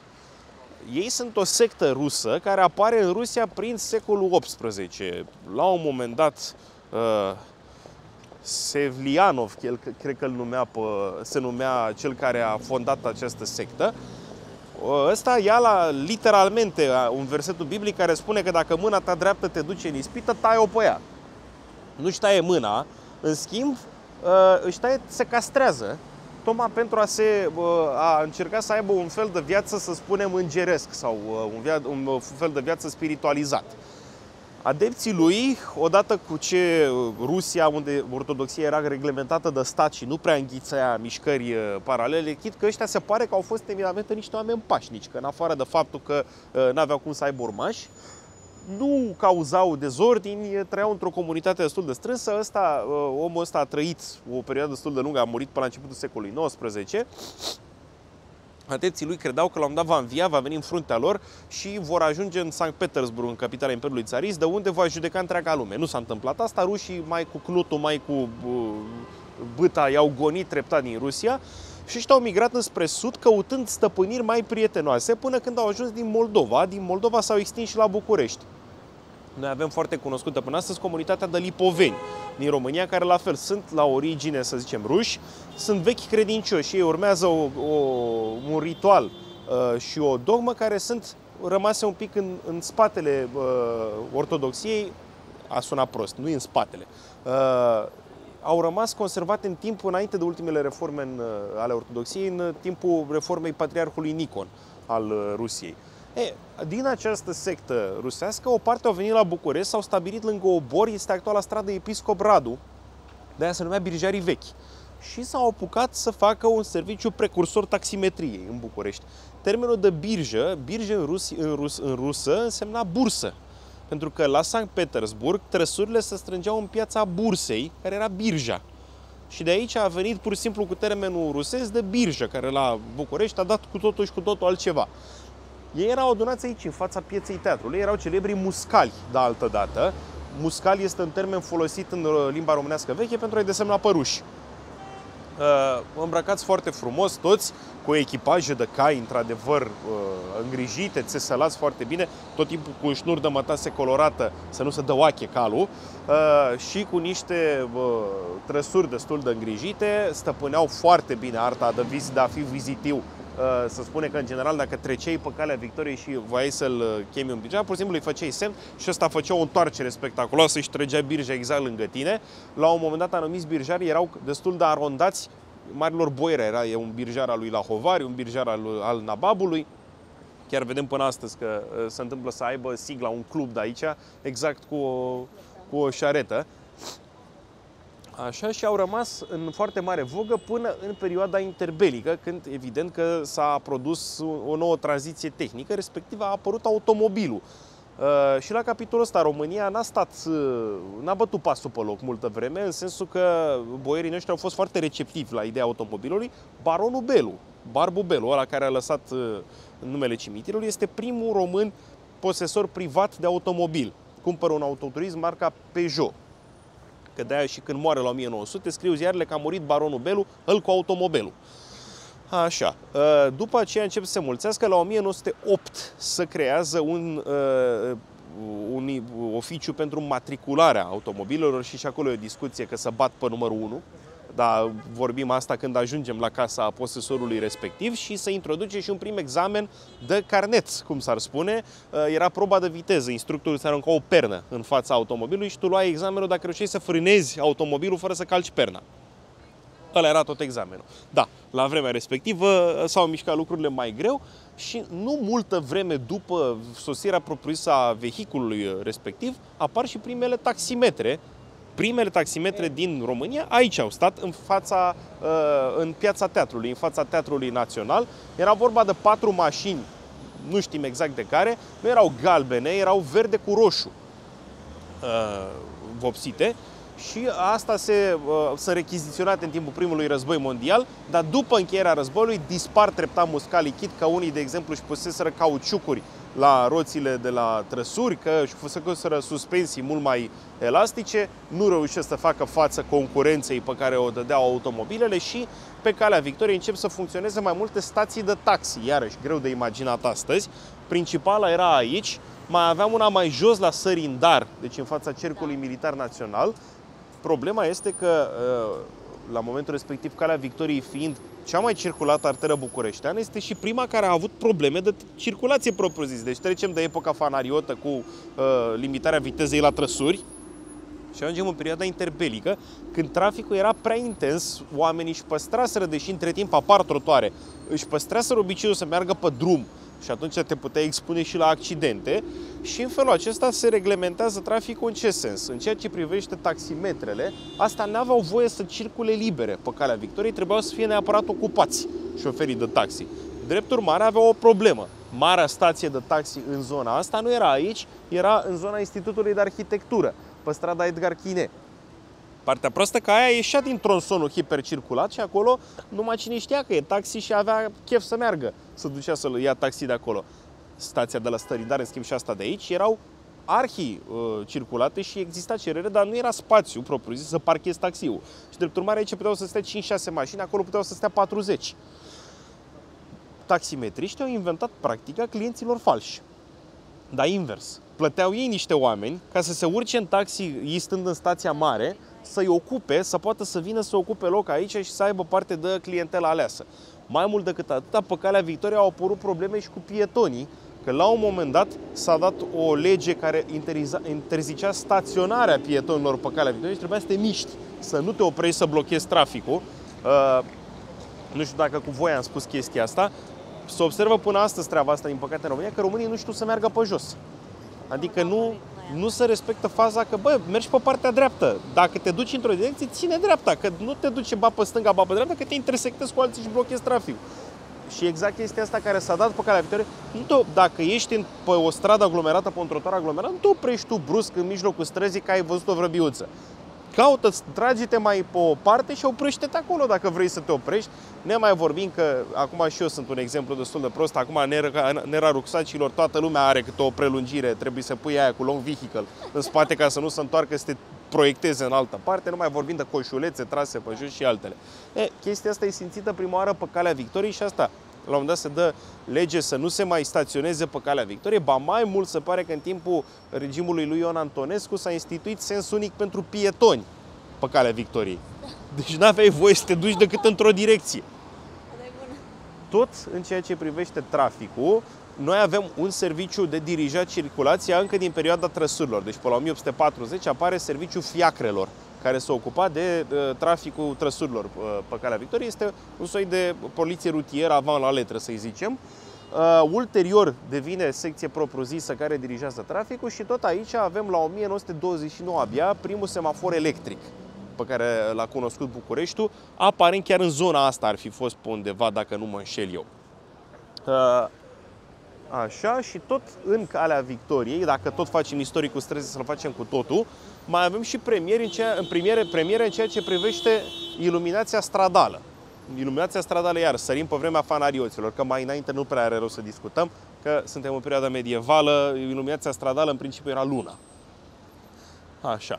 Uh, E, în perioada fanarioților să iau niște inițiative, adică oamenii ăștia au făcut și lucruri bune, pe lângă cișmele de care am vorbit data trecută, și în privința uh, felinarelor să hotărăște ca la anumite intervale comunitatea locului, negustorii cu tare, să țină cât un felinar, mergeau cel mai adesea cu seu, cu untură de pește, cu grăsime uh, de pește, evident că nu făceau o lumină teribilă, făceau din plin fum. Aia era clar. După aceea, treptat, se introduce petrolul lampant. Este o placă în spatele hanului Manuc care amintește faptul că București este primul oraș din lume iluminat cu petrol lampant. E adevărat, ăsta dădea mai multă lumină, dar fumul era tot acolo. Așa. Și ușor, ușor, în schimb, trecem la iluminatul cu gaz. Ăsta e mai mult de interior, cei drept, dar se găsea și afară iluminatul ăsta stradal a creat și o breaslă care astăzi este complet dispărută. Este primul nostru schimb 3 din istoria uh, breslelor muncitorești, este breasla lampagiilor.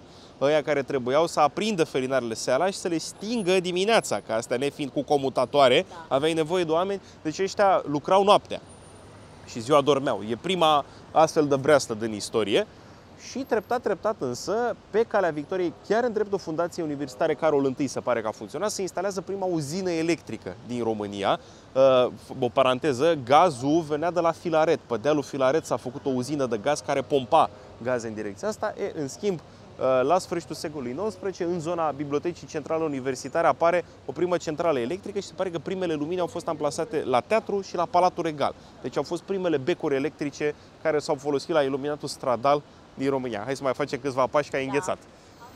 Așa, revenind la monumentele propriu-zise de pe calea Victoriei, nu se poate să nu remarcăm uh, clădirea Palatului Telefoanelor. Este o clădire în stilul Art Deco ilustrează pe calea Victoriei ceea ce se vede mai pregnant pe Bulevardul Magheru, respectiv tranziția dinspre influența, să zicem, pariziană către influența americană, newyorkeză, pentru că imită un zgârienor, nu cred că putem să-i acordăm titlul ăsta chiar de zgârienor, dar imită un uh, imobil de uh, birouri newyorkez, a fost la vremea construcției în 1931 cea mai înaltă clădire din București uh, și totodată a oferit pentru prima oară trecătorilor de pe calea Victoriei spectacolul stradal al unui spălător de geamuri care agățat de hamuri cobora pe clădire, se strângea lumea exact ca la circ să vadă uh, spectacolul uh, respectiv. Au fost eu și un film păstrat în arhivă cu această, acest acrobat, să zicem. Cel care l-a realizat a fost un arhitect străin de origine olandeză, Edmond van Zan în Alghi, dar care a rămas uh, la București și a fost înmormântat aici și uh, pentru vremea lui, lăsând la o parte că era un uh, concept inovator în arhitectură, era un concept inovator și în ceea ce privește tehnologia, pentru că aici era sediu, re, uh, punctul central al rețelei de telefonie care se dezvoltase începând cu finele secolului al XIX-lea în București. Uh, e iarăși teribil de greu de imaginat pentru noi din era telefoniei mobile, dar majoritatea de o seamă cu mine și mai în vârstă au prins încă perioada telefoanelor fixe, telefonelor cu rotor pentru format numărul și, și telefonelor de centrală, la care nu formai propriu număr, doar ridicai receptorul, așteptai să se audă vocea imediată, bună ziua, cu cine doreți vorbiți? Și tu spuneai cu cine vrei să vorbești. E, în perioada interbelică, când a fost construită clădirea asta, existau două zone de acoperire, să zicem așa. Era pentru urban și interurban. Dacă voiai să vorbești în afară, era alt tarif, altă mâncare de pește. Ei bine, Lăsând la o parte că uh, această clădire avea o, clă- o culoare simbol care încă se vede până astăzi. Uh, eu sunt bărbat și le uh, nimeresc mai greu, dar aia e turcoaz Aia de la pe, turcoază. De pe uși. E, aia era clădi, uh, culoarea simbol, să zicem, a clădirii. Cum e, cum e... Clădirea toată? Nu, nu, nu. Culoarea care se înti- întâlnea în toate uh, zonele unde era folosită, cam cum e bleu cielo astăzi pe liceul Lazar, culoarea lazăriștilor. Uh, și în interior, ceea ce sărea în ochi prima oară era o mare hartă de sticlă a României care indica prin becuri fiecare zonă cu acoperire de către rețeaua telefonică. Iar la subsol s-ar fi găsit odată cele două generatoare de curent, curent electric care folosite alternativ să asigurau că nu existau pene de curent în uh, rețeaua de telefonie. Exista camera pentru comutarea între urban și interurban. Toată clădirea era ocupată în mare parte de centraliste care asigurau evident legăturile pentru uh, telefonia bucureșteană și totodată mai exista o cameră unde se găseau dispozitivele individuale. N-am uh, competențele tehnice să-ți dau uh, uh, termeni uh, specifici, dar existau niște dispozitive cam de mărimea unui ceas de mână pentru fiecare abonat individual, în care se asigura semnalul propriu-zis, tonul de apel de la telefon. Dacă nu-ți plăteai la timp factura, să băga un băț de chibrit între cei doi receptori și pur și simplu ți se întrerupea tonul. În felul ăsta erai scos din rețea, ca să zic așa. Și la capitolul ăsta bucureștenii au fost receptivi la nou. Cel din tâi care și-a, unul dintre primii abonați uh, de la rețeaua de telefonie a fost chiar Grigore Capșa, care și-a tras linie telefonică între local și locuința lui, care se găsea undeva pe Bulevardul Chiselev, tocmai pentru a fi tot timpul la curent cu problemele care apăreau la uh, local.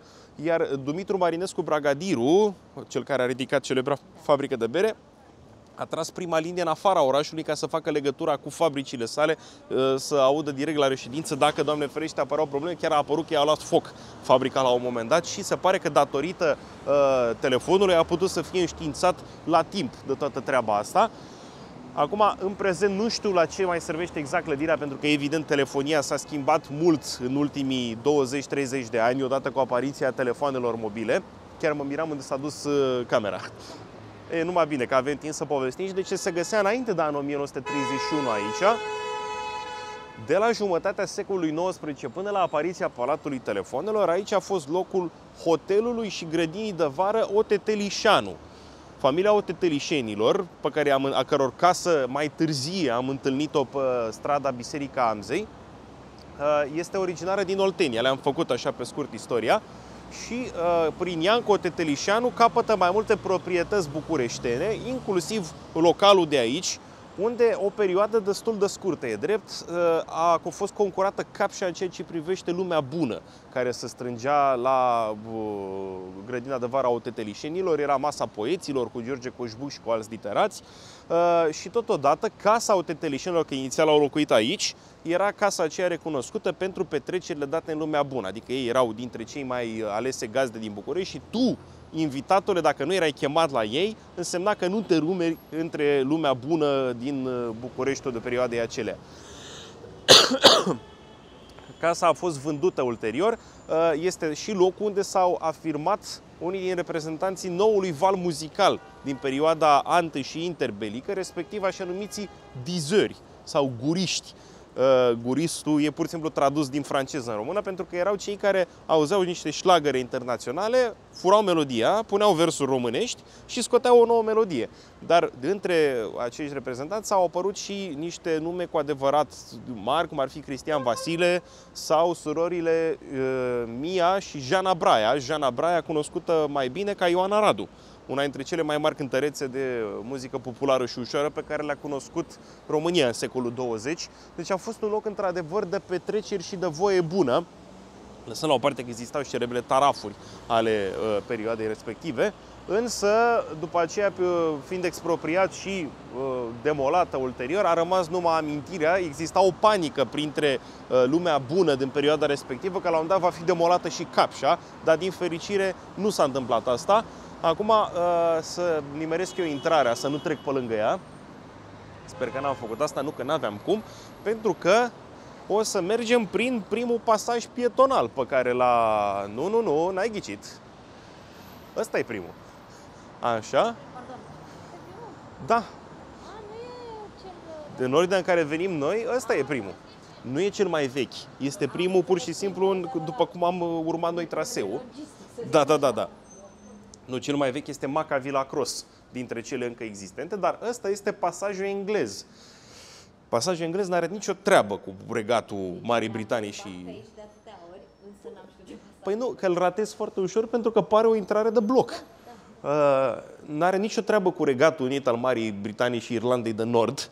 Își ține numele de la un hotel care s-a numit English în uh, perioada ante și interbelică pentru că i-a aparținut unui angloman, unui tip foarte pasionat de cultura engleză, s-a numit Grigore Eliad, gagiul ăsta, și a fost unul dintre uh, primii nou îmbogățiți din istoria Bucureștiului. Era, uh, așa cum a declarat el la un proces unde a fost, uh, omul a avut mai multe afaceri destul de ilicite, și s-a purtat pe în tribunale toată viața lui și la un moment dat un judecător l-a și întrebat. Spuneți profesia, meleonar. Aceasta nu este o profesie.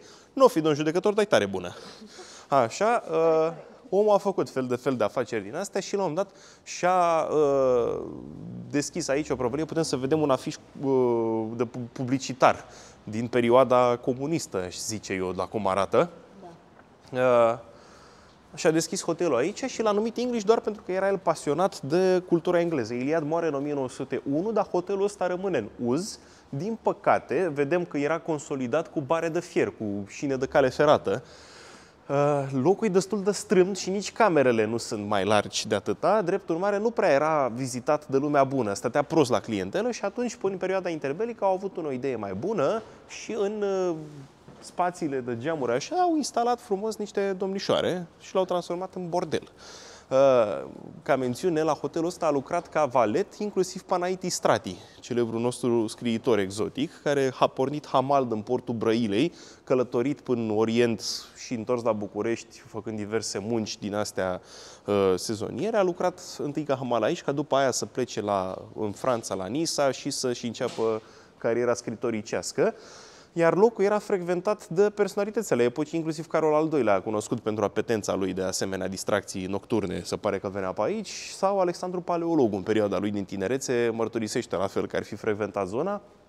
Locul s-a menținut ca atare până la instaurarea dictaturii comuniste, când a fost transformat în imobil de locuit și se vede că mai este locuit până și astăzi și l-a adăpostit până în perioada anilor 2010, din câte mi-aduc eu aminte, pe unul din ultimii pălărieri pe care i-a cunoscut Bucureștiul la Meșterul Nicu Pălăria. Era o treabă de mare prestigiu în Bucureștiul de altă dată. Chiar am uitat să spunem, la Hotel Continental, a fost un hotel Broft ăla de pe colț, uh, s-a găsit un, o provălie de pălării care a dat denumirea unei mode în România, respectiv pălăria domnului Jobin, care, fabricând celebrele țilindre, pălării înalte, a dat până astăzi denumirea rămasă încetățenită de Joben pentru uh, articolele astea vestimentare.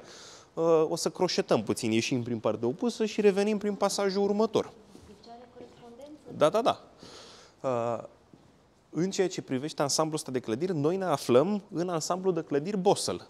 Clădirile ridicate de către Friedrich Bossel și date ca prăvălii, localuri de hotel sau săl de bal. Pentru că pe lângă hoteluri și localuri, principala formă de manifestare socială pentru Bucureștiul antebelic, în principiu, erau marile săli de bal. Prima uh, a fost cea a lui Momolo, din spatele casei Capșa. O să vorbim mai mult despre ea când ajungem acolo. Ea și-a ținut epoca de glorie vreo 20-30 de ani și după aceea s-a trecut la marea sală de bal de la Bosel. Omul ăsta a deținut, cum spuneam, un tronson important din Calea Victoriei și a realizat fel de fel de clădiri uh, mai mult sau mai puțin economice. Putem să vedem aici cât de înghesuite sunt toate treburile astea. Și acum ieșim în actuala strada Academiei. Uh, în primul rând să explicăm ce e cu numele ăsta, pentru că Academia Română e destul de departe de aici ca să aibă vreo legătură cu ea și nu are. Numele de Academie provine de la vechea Academie Domnească de la Sfântul Sava, care se găsea în fața universității. Și strada asta răspundea, propriu-zis, în clădirea Academiei de la Sfântul Sava. De asta poartă până astăzi denumirea de strada Academiei. Vedem pe stânga Biserica Sfântul Nicolae dintr-o zi. Numele ei poate să inducă în eroare, așa se numește. Nu a fost făcută într-o zi, evident, ci momentul punerii pietrei ei de temelie coincide ca zi cu ziua în care a fost târnosită sau sfințită. Deci în aceea zi în care s-a început construcția, dar la un an distanță, s-a făcut și sfințirea bisericii. De asta se numește până astăzi Sfântul Nicolae dintr-o zi. Are câteva istorioare și lăcașul ăsta, respectiv uh, aici, în chiliile care împrejumeau și această biserică, este o situație aproape uh, universală, că toate vechile biserici din uh, București își păstrează doar corpul central, corpuri, corpurile adiacente, în afară de câteva cazuri de mănăstiri, cum sunt Darvari, Antim, așa, au dispărut clădirile anexe, dar în casele de aici a locuit și a activat ca dascăl tatălui Nicolae Filimon, primul nostru romancier, autorul ciocăilor vechi și noi, s-a născut aici. O perioadă a fost dascăl la biserica asta și o perioadă a fost dascăl la biserica Enei, care nu se mai găsește. Deci aici s-ar fi găsit casele unui boier care respectau tipicul din perioada veche și aveau o curte destul de extinsă. Ei bine, în curtea asta boierul ținea o mică menagerie, era mare amator de animale sălbatice și, între altele, avea un urs un urs viu. Sunt mai multe cazuri în București și Tache Ionescu a avut în casa de la Piața Romană, la fel, ținea un urs, domnul Bruni. Uh, deci treaba, adică treaba asta s-a întâmplat până în secolul 20. În secolul 19 erau mai multe cazuri, când o să ajungem spre Cismigiu, dar nu dau spoilere, că acolo e o istorie mult mai înfricoșătoare cu ce animale ținea omul în casă. Uh, dar aici, omul ăsta avea un urs în grădină, urs care, uh, din păcate, fiind deranjat, ba de vizitii, ba de cutare, se cam rău. Și era ținut cu lanț. La un moment dat se pare că a ucis un vizitiu care avea o plăcere să-l tortureze, scăpând în lanț într-o zi. Uh, și cumva oamenii din zonă erau temători vis-a-vis de animalul ăsta, logic. Se întâmplă la un moment dat ca uh, în Vinerea Mare la Prohod să vină aici și un boier, mi se pare că unul din neamul văcăreștilor. Venea la biserică să se închine, uh, boierul fiind un pic mai în vârstă, slujba Prohodului fiind lungă, adorme în strană. Adorme în strană, cumva nu e observat de restul lumii, iese lumea din biserică, iese și preotul, încuie ușa, și boierul se trezește să vede închis în biserică, ce asta e, tată, era primăvară, nu era mare frig, și se pune la loc și se culcă. Zice, până mâine dimineață când o deschia popa biserica, dorm aici. Vine popa a doua zi, se descuie biserica, boierul aude și boncăluiește sau orică sforă ea. Că popa în momentul când îți deschide ușa aude din biserică și se strântește ușa și fuge, zicând că a intrat ursul da, în biserică și că îi mănâncă pe toți. Și de fapt era săracul boier care stătea și liniștit. E, și dacă, uh, cum spuneam, biserica nu și-a modificat uh, poziționarea de când a fost ridicată din secolul XVIII. Drept urmare, fix unde găsim acum rămășițele astea de marchiză, uh, acoperite cu sticlă, acum 200 de ani pe aici ar fi trecut cea mai improbabilă construcție cu putință, respectiv o punte de lemn susținută de piloni, care pornea de la vechiul palat domnesc am vorbit când uh, am ajuns la Palatul Știrbei că pe calea Victoriei s-au găsit mai multe reședințe domnești. În spatele casei Capșa, ne întoarcem imediat acolo, se găsea Palatul Domnesc în timpul lui Caragea, Suțu și în timpul lui Grigore Ghica.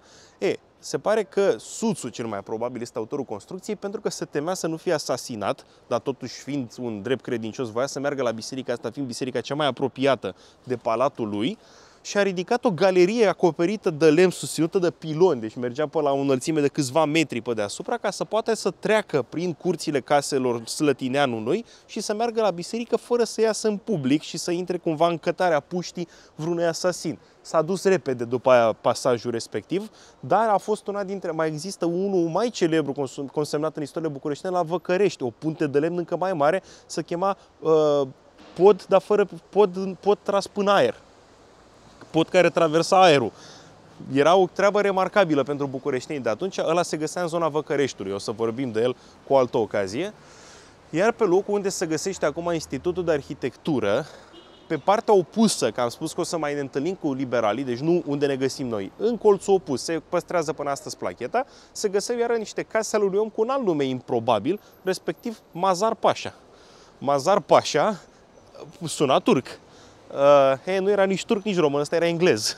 Îl chema Steven Lakeman și uh, omul fiind militar de... Ca- nu, nu s-a autoproclamat, fiind militar de carieră, S-a luptat până războaiele coloniale britanice, a ajuns până în Africa, până în India, dar la un moment dat Imperiul Britanic, nemai având de purta războaie, ăsta s-a simțit fără obiectul muncii, s-a dus frumos, s-a înrulat în armata otomană, a participat la lupt la războaiele cu rușii și când și-a încheiat serviciul militar a fost trimis ca instructor la București pentru miliția națională, că noi până în secolul XIX începem să ne reformăm armata după ce aproape 200 de ani stătusem fără.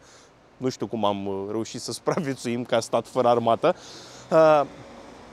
Uh, este trimis aici, îi place locul, să căsătorește cu o româncă și rămâne, dar turcii au dat rangul de pașă. Deci el se numea Mazar, probabil era porecă la lui turcească, dar a dat rangul de pașă pe bună dreptate, omul chiar era pașă. Ei bine, în casele lui care se găseau scrie cronicarul, pe lângă Baia Centrală. Deci tot aici nu se mai găsește nici clădirea asta, dar cam tot pe locul Institutului de Arhitectură se găsea uh, una dintre principalele stabilimente care aveau în grijă igiena orașului la vremea respectivă, Baia Centrală. Aici București, uh, încă dinainte de perioada fanariotă, dar atunci se dezvoltă mai cu precădere, preiau iar o modă orientală, care astăzi se găsește până azi în Constantinopol, poți să mergi și astăzi la hamam, a băilor publice, pentru că apa curentă și cutare era o treabă neîntâlnită până în secolul XIX, ca să păstrezi cât de cât măcar igiena uh, locuitorilor, sunt, erau aceste băi publice care trebuiau să se găsească pe lângă un curs de apă sau măcar pe lângă niște fântâni ca să poată să tragă apa. Apa era uh, încălzită exact pe sistemul roman, într-un hipocaust, într-o încăpere subterană unde se găseau niște cuptoare în care se băga foc și se trimitea apa încălzită și aburul într-un pavoazaj de calcar, de piatră poroasă, în care să poată să treacă. De asta obiceiul până astăzi, când intri într-o baie de asta, intri cu sandale de lemn, ca să nu te frigi la tălpi. Așa și acolo, pe lângă faptul că se făcea sudație, era și un loc de relaxare, de wellness, cum s-ar spune astăzi, uh, s-a asigurat cât de cât igiena. E, lângă se găseau casele astea ale lui Mazar Pașa, unde uh, în a doua jumătate a secolului XIX, îmi scapa în momentul de față, este trecută în schimb acolo, are loc celebra coaliție de la Mazar Pașa. Fruntașii politici de orientare liberală, Brătianu, Rosetti și alții, se strâng și formează Partidul Național Liberal, care există până astăzi. Este cel mai longeviv partid politic din România, bun, cu sincopa în perioada comunistă când a fost uh, desfințat, dar el este înființat aici, pe locul caselor de la Mazar Pașa. Este uh, un loc cu o profundă încărcătură istorică, mai avem de povestit ceva un pic mai jos, dar ne băgăm pe bulevardul ăsta că o să găsim iară să ne întoarcem. Bulevard, pardon, am zis bulevard, pasaj. Care-i treaba cu pasajele uh, pietonale? Ăsta este actualul pasaj Victoria, s-a numit imobiliara mai înainte. Uh, este o modă care apare până uh, a doua jumătate a secolului XIX în orașele mari din Europa Occidentală. Paris, Milano, este o treabă menită să stimuleze comerțul, în primul rând, pentru că uh, conectând două artere hipercirculate, dar unde exact cum spuneam, pe calea Victoriei, nu prea aveai voie să staționezi. Oamenii treceau dacă nu știau dinainte că ai provăria cu tare sau nu se duceau chitiți că au treaba acolo, de multe ori ratau niște magazine. E pe un pasaj din ăsta mult mai liniștit așa și unde poți să te plimbi în voie, aveai vreme să te mai oprești să mai faci niște cumpărături. Pasajul ăsta îl face același Friedrich Bossel care deschide și pasajul român. Deci este probabil unul dintre cei mai uh, inovatori oameni de afaceri pe care i-a cunoscut vreodată uh, calea victoriei. În pasajul ăsta, de-a lungul timpului, s-a instalat o, o societate de asigurări, evident în domeniul imobiliar, că dai o nume imobiliară, care cumva i-a dat și numele, dar pe lângă asta au mai funcționat la un moment dat uh, o sală a Teatrului Țăndărică, Uh, și a mai funcționat primul restaurant chinezesc pe care l-a cunoscut vreodată București, se numea Fu Chang și a funcționat până prin 1948. Se pare că a funcționat un pic și în timpul perioadei comuniste și de aici pleacă legenda cu faptul că serveau carne de om sau de câine uh, în meniu, pentru că n-am, mai da.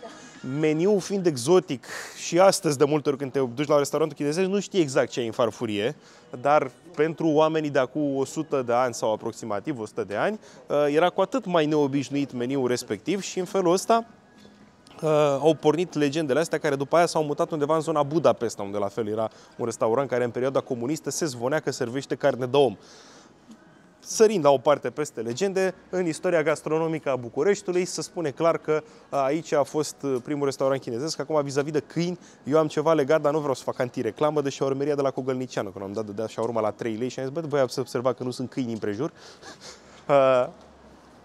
Așa. Ăsta este desfințat de către comuniști și, la fel, pasajul este naționalizat, ceea ce, în mare parte, pentru pasaj, asta a dus la o decădere care e vizibilă că în momentul în care nu mai lași comerțul să-și urmeze cursul lui firesc, automat și clădirea începe să aibă probleme pentru că nu mai este întreținută corespunzător și din păcate astăzi, din cinci pasaje câte cunoștea Calea Victoriei, unul este dispărut complet, două pe care le-am văzut deja sunt într-un stadiu destul de avansat de degradare. Unul, pasajul englez, este părăsit cu totul din punct de vedere al comerțului. Aici, după cum se vede, mai avem un tronson. Ăsta a fost foarte popular în social media. La un moment dat găseai, dacă te uitai la patru profiluri, unul musa avea poze cu umbreluțele de pe uh, pasajul Victoria. Dar la fel, destul de slab dezvoltat în ceea ce privește comerțul și numai pasajul Maca Villa Cross își păstrează până astăzi, să zicem, el având un destin mai blând, pentru că acolo erau prăvălii de bijutieri dar uh, vorbim mai încolo uh, când ajungem și la el. Uh, asta a fost cultura pasajelor pietonale din București. Păcat că nu s-au putut dezvolta în mai multe locuri pentru că sunt veritabile catalizatoare în ceea ce privește comerțul și viața socială. Pentru că asta asigură niște oaze de liniște între niște artere altfel hipercirculate. Așa, revenind la clădirea, clădirile patronate de către Bosel, ele au mai asigurat niște premiere pentru București și chiar pentru România, respectiv unde se găsește sediul ăsta de bancă de pe colț. Mi se pare că au pus și o plăcuță la un dat care amintește de faptul ăsta. A avut loc prima proiecție cinematografică din România în 1896. Au venit la sala Lumière și s-a, s-a proiectat Gheorghe Cruțescu, unul dintre principalii memorialiști ai podului Mogoșoaiei, a, se pare că Puști a fost dus de maică sa. El scrie cartea în 43, dar Puști în 1996 este dus de mama lui la asta, la prima proiecție cinematografică, unde nu s-a dat un film ca atare, s-au dat niște secvențe cinematografice, respectiv s-a dat o scenă de mormântare, fiecare cu ciudățenile lui, uh, s-au dat niște tigri care trebuiau să fie momentul horror, erau niște tigri filmați, s-a dat un tren intrând în gară și s-a spus că lumea chiar s-a ferit când a văzut că vine trenul Uh, către sală, să zicem așa, s-au dat niște dansatoare orientale care erau momentul sexy din uh, program, mă rog, deci au fost o succesiune de 8 sau 9 secvențe care au constituit în felul ăsta prima proiecție cinematografică. După aceea, la un an distanță, într-o cocioabă de scânduri, nu mai știu exact unde era ambasată, dar nu-i departe de Calea Victoriei, s-a fost primul cinematograf stabil și undeva către Clubul Conservator, deci tot în corpul ăsta de case, a funcționat și unul dintre cele mai durabile cinematografe bucureștene din perioada interbelică, respectiv cinematograful Select, care era înființat pe la 1908 și a rezistat până aproape de perioada comunistă. Deci și la capitolul ăsta București a fost destul de uh, receptiv la inovația tehnică.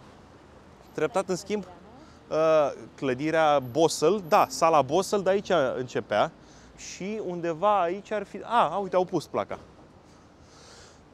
1809, da, chiar la momentul da. centenarului. E, treptat, uh, pentru că pe calea Victoriei spațiul e destul de restrâns și nici clădirile nu asigurau spațiu suficient, uh, dominația în cinematografie s-a trecut treptat către Bulevardul Elisabeta, care a rămas până prin perioada anilor 90 un centru al industriei cinematografice până când a venit eclipsa adusă de noile moluri, cu marile complexe de cinema care au făcut să se închidă uh, cinematografele care făceau fala Bucureștiului uh, până în perioada comunistă. Patria, uh, Corso, Studio și celelalte.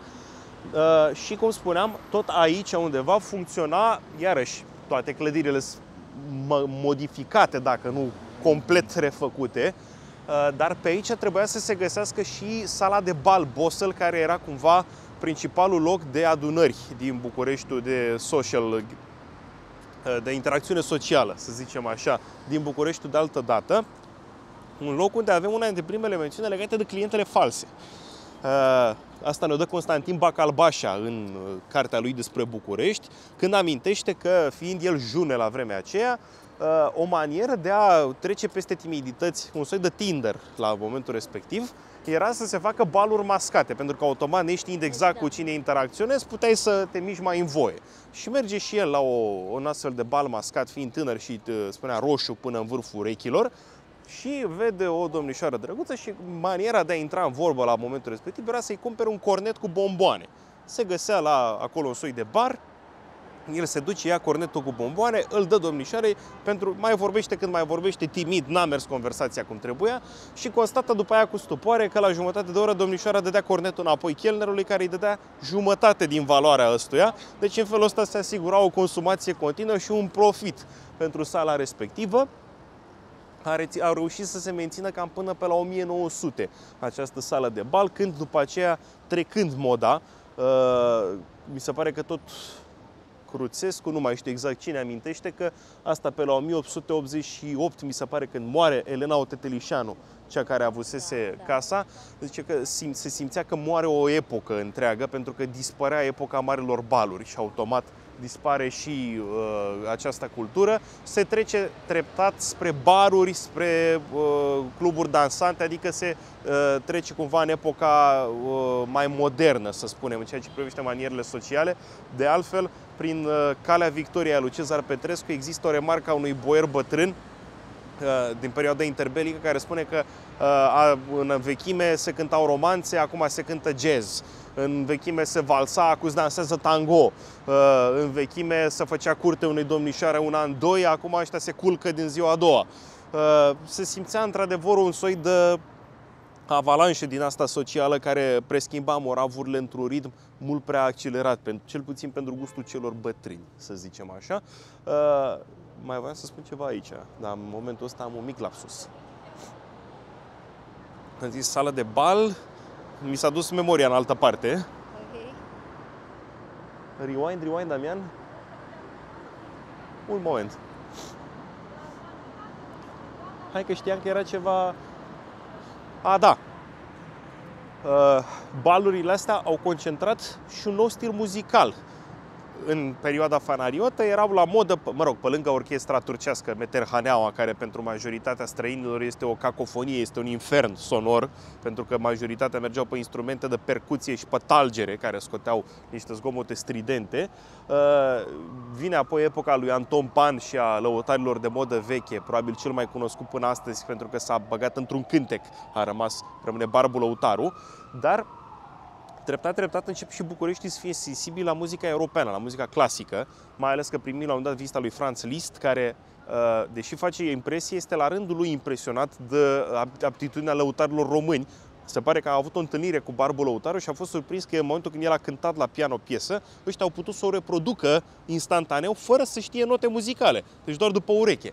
Era o treabă absolut fenomenală, dar după aia se face ușor tranziția către muzica europeană propriu-zisă, uh, cine, printre primele nume care se aud în România sunt Eduard Wachman, Alexandru Flechtenmacher, ăla care a făcut melodia de la Hora Unirii, și în ceea ce privește dirijoratul propriu-zis, între primii care se afirmă este Ludwig Ludovic Wist, care vine la București, ajunge să dirigeze inclusiv uh, orchestra de camera Palatului Regal și care moare la câteva zile după Elena Tetelișanu, ca și cum uh, ar fi înțeles și el că vremea marilor baluri cumva a trecut, a apus. Ei, cam aici s-ar fi terminat sala Bosel. De data asta o să o luăm cronologic de la mai apropiat către trecut, pentru că vedem pe stânga Teatru Odeon. Teatru Odeon se numește așa din 90. Nu s-a numit așa mai înainte. Inițial, el a fost o, o sală care ținea de Teatru Național. De teatru mare pe care l-am văzut ceva mai sus și se numea exact cum se vede încă pe frontispiciu sub actuala denumire, era sala Comedia.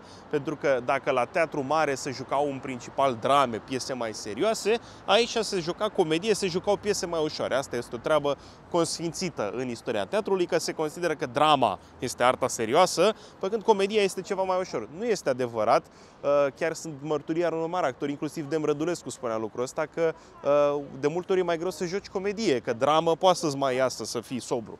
Uh, aici, ansamblul ăsta este ridicat la sfârșitul secolului XIX, se observă același stil neoclasic care caracterizează întreaga calea Victoriei și, cum spuneam, funcționează până la instaurarea regimului comunist, deci până la desfințarea Teatrului Mare, ca sala acestuia. La subsol se mai găsea o sală, se păstrează până astăzi sala de la subsol, care se numea Majestic și unde se jucau piese mai de ochiate, un pic să zicem, uneori se găsea, se pare, și un bar tot așa mergând pe, în interbelic apare fascinația pentru Extrem Orient. Da, apare restaurantul chinezesc în pasajul Victoria, iar aici se pare că barul este uh, remodelat cu niște decoruri așa pseudo-orientale și este denumit Nippon, ca să aducă aminte cumva de Japonia. Vin comuniștii, pentru că desfințează teatru, trebuie să-l creeze în sucursală independentă și îl fac teatru CFR-ului, teatru muncitoresc. S-a mutat teatru CFR-ului la podul Grant Acum e unde filma Florin Călinescu, Călinescu chestiunea zilei, în uh, perioada anilor 90. Și își continuă activitatea așa până în 90, când uh, devine Teatru Odeon. Acum, vorbind de istoria obscură a Căii Victoriei, tot pe aici se înființează și primele loji masonice din România. Una funcționează în Teatru Odeon și pe... Din câte știu eu, da. Asta este o istorie pe care eu recunosc că nu sunt specializat și uh, nu sunt specializat nu pentru că ar fi de fapt ceva uh, ezoteric, ceva uh, ascuns. Bun, masoneria caută să fie o societate închisă, dar uh, pentru că există atâta cantitate de fake news și de relatări cu totul și cu totul fără legătură cu contextul, încât e foarte greu să triezi toate treburile astea și atunci eu mă limită să dau mențiunile istorice că au fost cu tare și mă, uh, caut să mă păzesc cumva de comentarea contextului actual. Uh, am uitat să spunem că am trecut pe strada Câmpineanu, fostă regală, că la numărul 25 sau 45 pe ea se găsea principalul templu masonic din București în perioada interbelică. Perioada interbelică este perioada când uh, lojile din România se leagă de Marea Lojă din New York de masoneria americană. Este o personalitate a lui un anume Pangal, care vine și este numit uh, în fruntea lojii din România, dar și aici a funcționat o lojă masonică. Cel mai probabil funcționează și astăzi. Uh, ceea ce știu sigur ca regulă în masoneriei, ai voie despre tine să spui că ești mason, dar n-ai voie să spui despre altul dacă ăla nu vrea să facă public treaba asta. Asta este ceea ce ține de partea mai secretă a masoneriei.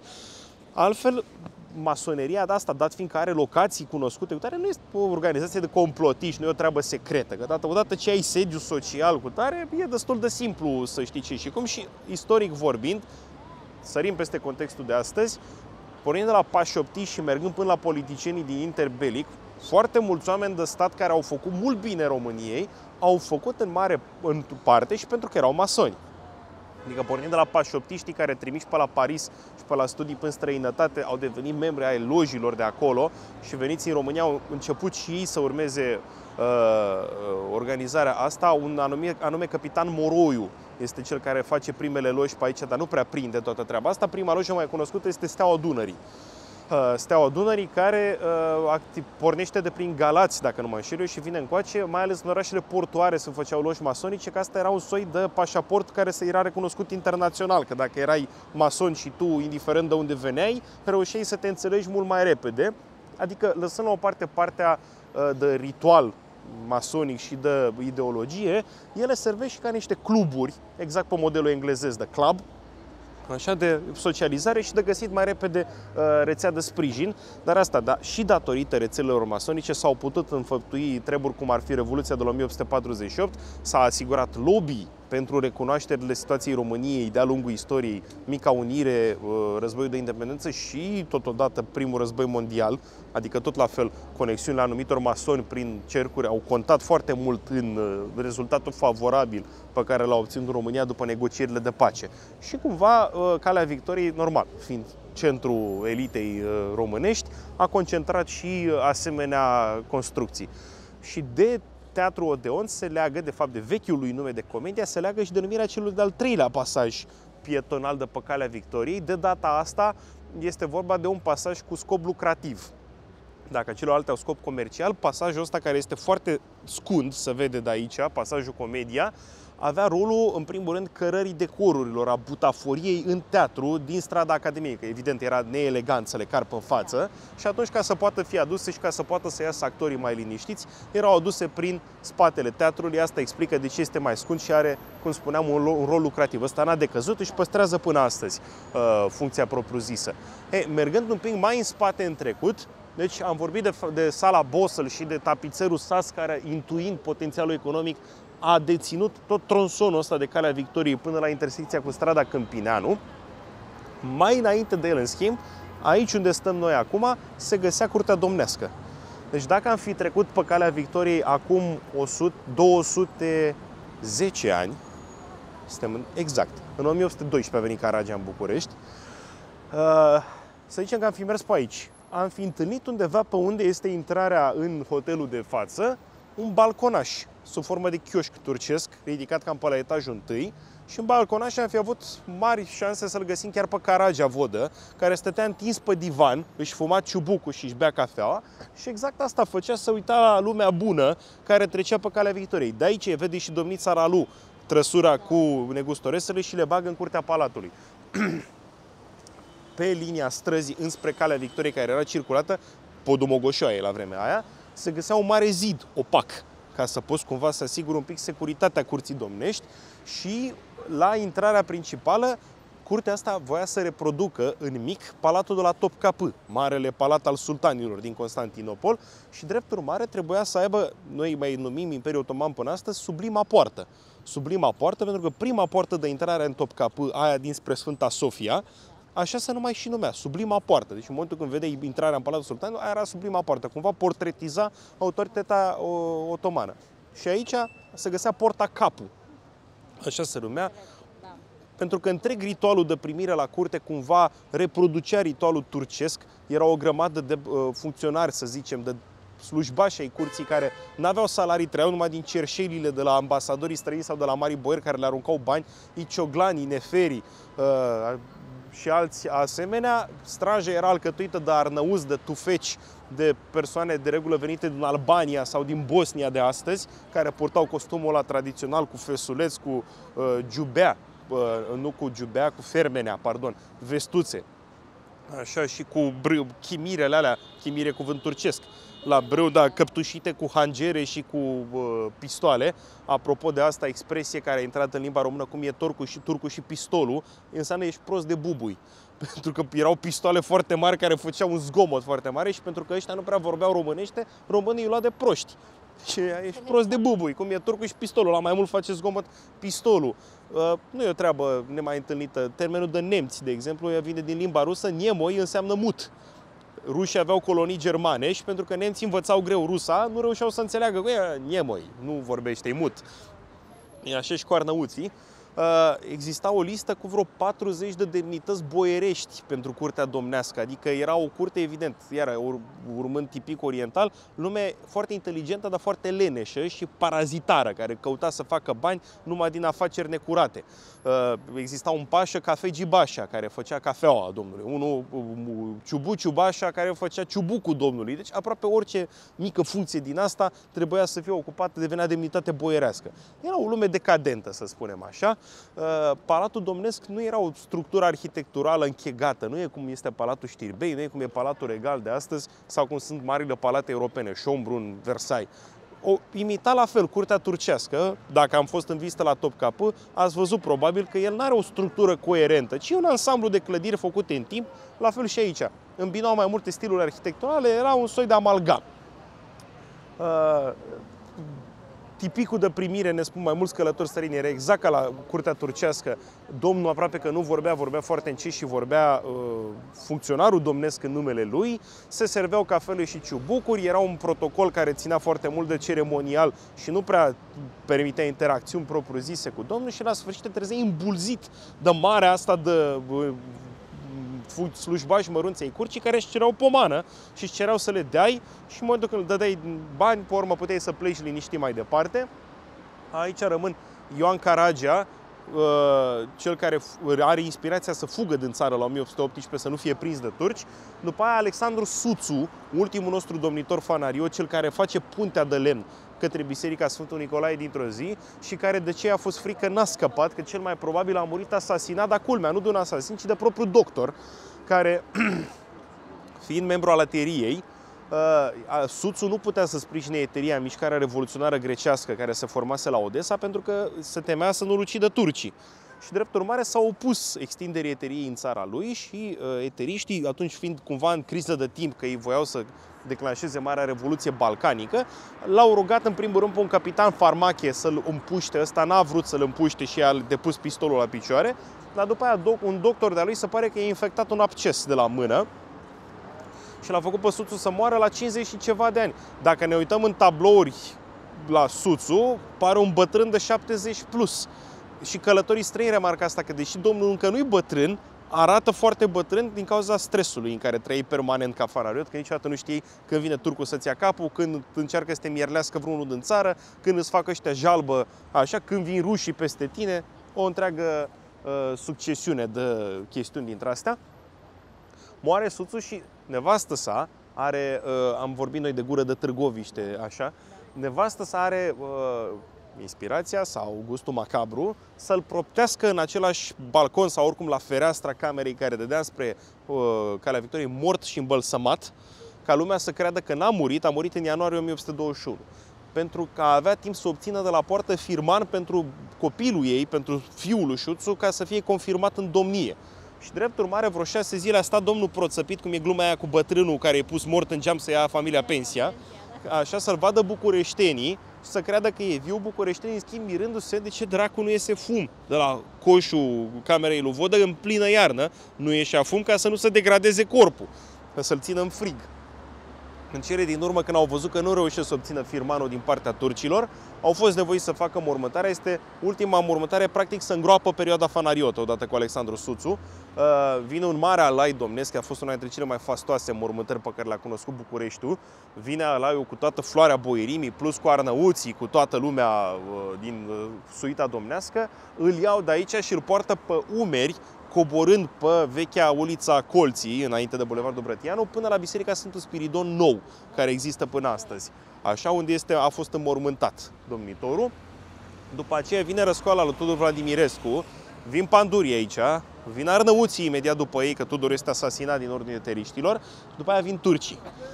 Vin turcii care au făcut un jaf generalizat, dar vorbind de el un pic mai jos, unde au avut cartierul general pe calea Victoriei, uh, fac un jaf generalizat pe aici și în momentul când pleacă turcii sunt găsite 17 femei ucise în curtea Palatului Domnesc, care are nevoie de uh, niște lucrări de refacere destul de ample, pe care le face primul nostru domn pământean, primul domn ales dintre boierii țării, Grigore al IV-lea Ghica, care urcă în domnie la 1822. Ăsta este un domn destul de stimat de către majoritatea istoriografilor. E ultimul care a, el a păstrat moda orientală, că era deja bătrân când l-au numit în funcție. El o viață întreagă se îmbrăcase cu uh, anteriu, cu cămășoaia lungă, cu taclit, cu brâu, cu giubea pe deasupra și purtase calpac pe cap pălăria aia mare, pe care domnii o schimbau cu cuca. Cuca domnească era aia de blană, adică calpacul este aia care arată ca un ceaun, Cuca arată cum arată căciurile de Astrahan astăzi. Că ăla era semn domnesc. El intră în București într-un alai tipic oriental, că are pe tabla bașa, era armăsarul dăruit de sultan, având în față stindardul cu trei tuiuri. Asta este un însemn de pe vremea mongolilor. Trei cozi de cal care arătau în ierarhia armatei otomane vechi, care era gradul tău. De regulă, voievozii românești abia ajungeau la două. Dacă Igor Ghica, având un statut privilegiat la poartă, avea trei tuiuri, în felul ăsta, la un moment dat s-a enervat pe generalul Chiselev, după ce n-a mai fost domn, a fost depus din scaun, dar rămăsese în București. Generalul Chiselev venea să mai sta la sfat cu el. Ghica săracul nu vorbea nici franțuzește, nici rusește și avea nevoie de un intermediar. Era rudă de-a lui generalul Mavros, care a fondat Muzeul de Antichități.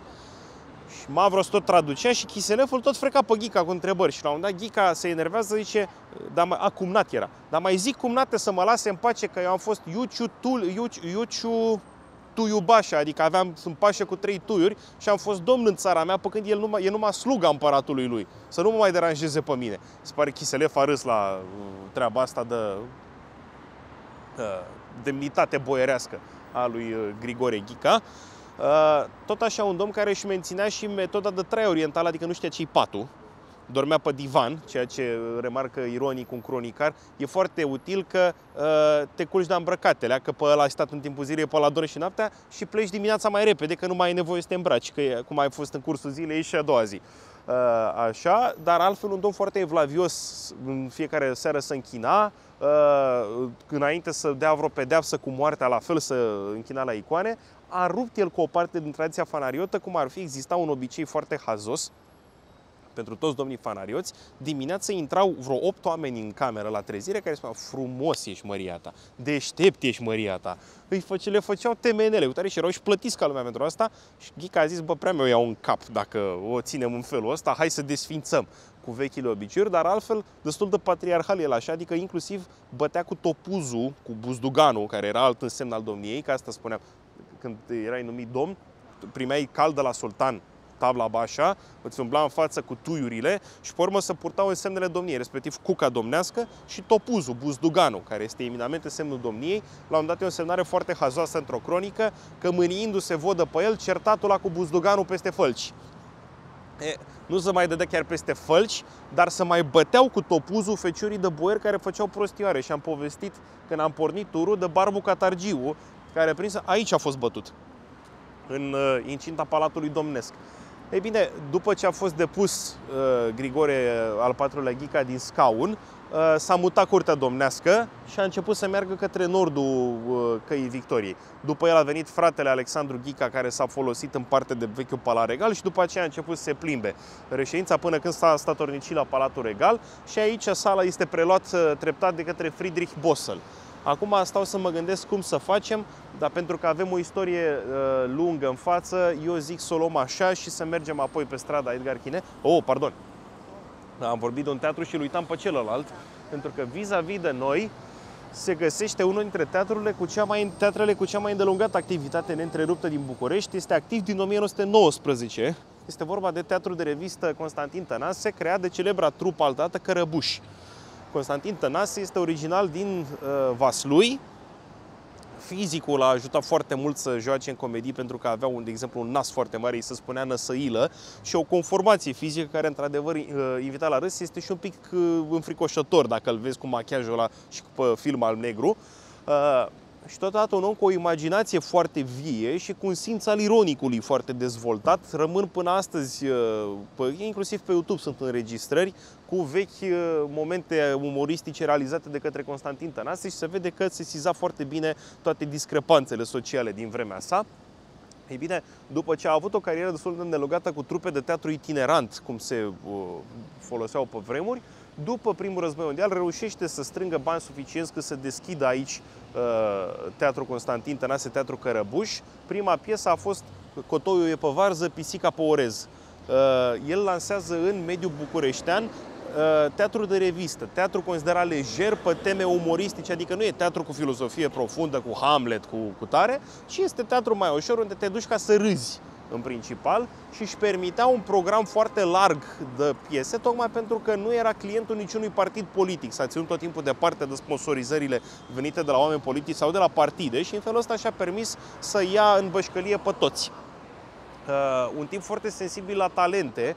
El este cel care uh, o descoperă, nu o descoperă așa cum ar vrea să ne facă să credem filmul Actorul și Sălbaticii, unde Toma Caragiu chiar pe el îl joacă uh, pe Maria Tănase, care vezi, doamne, are fost femeie de serviciu în teatrul lui și a auzit la un moment dat uh, cântând moment, pe timp ce făcea curat și ar fi uh, promovat-o. Nu, Maria Tănase era o femeie cu studii serioase în muzică, pe care Constantin Tănase într-adevăr a promovat-o, dar cu o condiție până a trăit Tănase, păi a chemat-o Maria Atanasiu, că nu putea să o cheme la fel ca pe Tănase. E, uh, și totodată a fost un tip care s-a, s-a priceput foarte bine la PR și la publicitate. Și pe lângă faptul că n-a ratat nimic din ceea ce putea să-i sporească audiența, respectiv radio, film, are, există un film, Visul lui Tănase, regizat și în care joacă el. Astăzi nu știu cât mai râdem noi la un film din 37, dar el se păstrează și arată faptul că omul a fost în pas cu vremea lui. Dar pe lângă asta, bucurându-se de o reputație la nivel internațional, uh, și-a permis să aducă artiști străini care să îi joace pentru el sau care să-i facă, publici, care să-i facă publicitate. Și între ele s-a, s-a numărat Josephine Baker. Josephine Baker a trăit acum vreo 100 de ani, a fost cam echivalentul lui Beyoncé. Uh, actualul cântăreață americană de origine africană, foarte frumoasă și foarte tare, adică nu era genul de aia care apare doar în filmare și cântă alta care chiar are voce în spate. Uh, ea le avea pe amândouă. Au invitat-o prin anii 20 pe aici, au cazat-o la Capșa și pe lângă faptul că a invitat-o ca să facă și mai multă publicitate, Tănase a plimbat-o pe calea Victoriei într-o șaretă trasă de un struț. Și e poză, se găsește poză cu ea pe calea Victoriei cu șareta trasă de struț. În felul ăsta știa uh, Constantin Tănase să-și facă publicitate la vremea respectivă. A avut multe astfel de uh, întâmplări. Uh, cultura mea în domeniul uh, istoriei teatrului și cinematografiei mai lasă de dorit pentru că îmi scapă numele celebre ale uh, cântărețelor și actrițelor uh, de talie internațională care au vizitat Calea Victoriei, dar mi-aduc aminte o întâmplare cu una care merită istorisită, respectiv cu o cântăreață de origine franceză, uh, de care se înamorase un fost prefect al Bucureștiului, Radu Văcărescu. Și la un moment dat, Uh, fiind într-un, într-una din localurile de pe Calea Victoriei, se încinge un dans din ăsta frenetic, încât ea la un moment dat, uh, tot dansând, își aruncă uh, pantofii și iese afară, iarnă fiind și zăpadă pe jos, dansând de sculță. Unii zic că a dansat mai mult decât de sculță, urmată la cererea lui Radu Văcărescu de toți lăutarii care au ieșit și au cântat și pe urmă ea scrie că s-a ales cu o congestie pulmonară de asta la pat vreo câteva săptămâni, dar era locul unde se petreceau și astfel de spectacole și unde uh, cântau starurile momentului, ca să zic așa. Constantin Tănase și-a menținut cariera până în 1945. În 1945 ne aflam deja de aproape un an sub ocupație sovietică. Toate bune și frumoase, uh, nu chiar, pentru că rușii veniseră, pe de-o parte, pe bună dreptate, adică lăsând la o parte linia politică dată de Stalin, că faceți uh, praf pe ăștia pe unde îi prindeți, uh, instaurați nou regim comunist care însemna automat eliminarea anumitor clase sociale, soldatul rus de rând venea cel mai probabil din locuri care fuseseră devastate cu 2-3 ani mai înainte de armata germană și de trupele aliate române, maghiare și ceilalți. Drept urmare, aveau o leacă de chef de răzbunare. Între principalele abuzuri pe care le săvârșeau sovieticii aflați la București era celebra vorbă davai ceas, de ceasul. Te oprea pe stradă și își lua, ceas, lua ceasul de mână. La un moment dat erau soldați care purtau pe, toate, pe toată mâna, așa, mai multe ceasuri, ba unii își mai băgau și pe paltoane ca să strângă când mai multe erau, bine, probabil că intrau și bijuterii la capitolul ăsta și altele, mărfurile ușor de transportat. Ei bine, Constantin Tănase prinde chestia asta și ce era rău cu Derdidas, dar e mai rău cu Davai Ceas. De la Nistru până la Don, Davai Ceas, Davai Palton, Davai Ceas, Davai Moșie, Harașot, Ovărășie. Chestia asta n-a prea prins uh, la politicieni la uh, comandamentul armatei sovietice și a fost rugat să tacă. Uh, ultimului spectacol se pare că a intrat pe scenă cu un palton foarte larg așa, a mers fără să spună nimic până la mijlocul scenei, a desfăcut paltonul, era plin de ceasuri și a spus mata, el tic, eu tac, el tic, eu tac. Și peste două săptămâni era mort. I s-au făcut funeralii naționale, sunt secvențe de la mormântarea lui. Îl poartă Bucureștinii abia și sără din război și acum murea și unul dintre marilor actori a fost cumva o, o primă exprimare a tristeții uh, oamenilor de atunci. Uh, evident că s-a spus că a fost asasinat din ordinul Armatei Roșii. Uh, un nepot de-al lui a dat un interviu prin presă prin anii 2000 în care dezminte treaba asta și spune că a fost de fapt victima unui malpraxis. Avea o infecție renală, un doctor i-a prescris o doză, o cură cu vreo 30 de aspirine pe zi, ceea ce l-a băgat în blocaj renal. Și în felul ăsta a murit de fapt. Greu de spus care a fost adevărul istoric. Mormântul se găsește până astăzi la Belu, sicriul este din bronz și este expus la vedere. Pentru fiind un mare star, cumva s-a dat un, uh, o derogare și casa lui încă se păstrează, este în susul Cismigiului, în strada Puțu cu Plopi. Pentru că se pare că a fost totuși un om pe care celebritatea nu l-a schimbat. El își continua viața lui domestică de zi cu zi, își făcea singur murăturile, vinul, te primea cu salată de vinete făcută de el și era un tip foarte jovial. Adică, într-adevăr, deși se ridicase la nivel de superstar, nu se lăsase schimbat cumva, să zicem, de celebritatea cunoscută. În schimb, teatrul lui, fiind un teatru celebru în București, a rezistat în tot cursul perioadei comuniste uh, și după 90, când a fost vreme îndelungată sub directoratul lui Alexandru Arșinel, cel care a plecat dintre noi anul acesta și în prezent este sub uh, bagheta lui Vasile Muraru, cel care a făcut celebru duet comic din perioada comunistă și din anii 90 cu uh, Nae Lăzărescu și Vasile Muraru. Asta ține de cultura teatrelor de pe Calea Victoriei. Deci asta, teatr, Calea Victoriei, dacă a fost vreme îndelungată principala artera a țării și principala, uh, principalul ax al lumii bune, automat că a concentrat și principalele spectacole. Că vorbim de teatru, că vorbim de cinema, că vorbim de cântărețe, uh, centrul spectacolelor era în mod cert pe Calea Victoriei. Și acum ne îndreptăm spre ceea ce tot uh, uh, Gheorghe Cruțescu numește buricul țării și cronica ei vie. Miezul căii Victoriei, celebra până în prezent casă Capșa.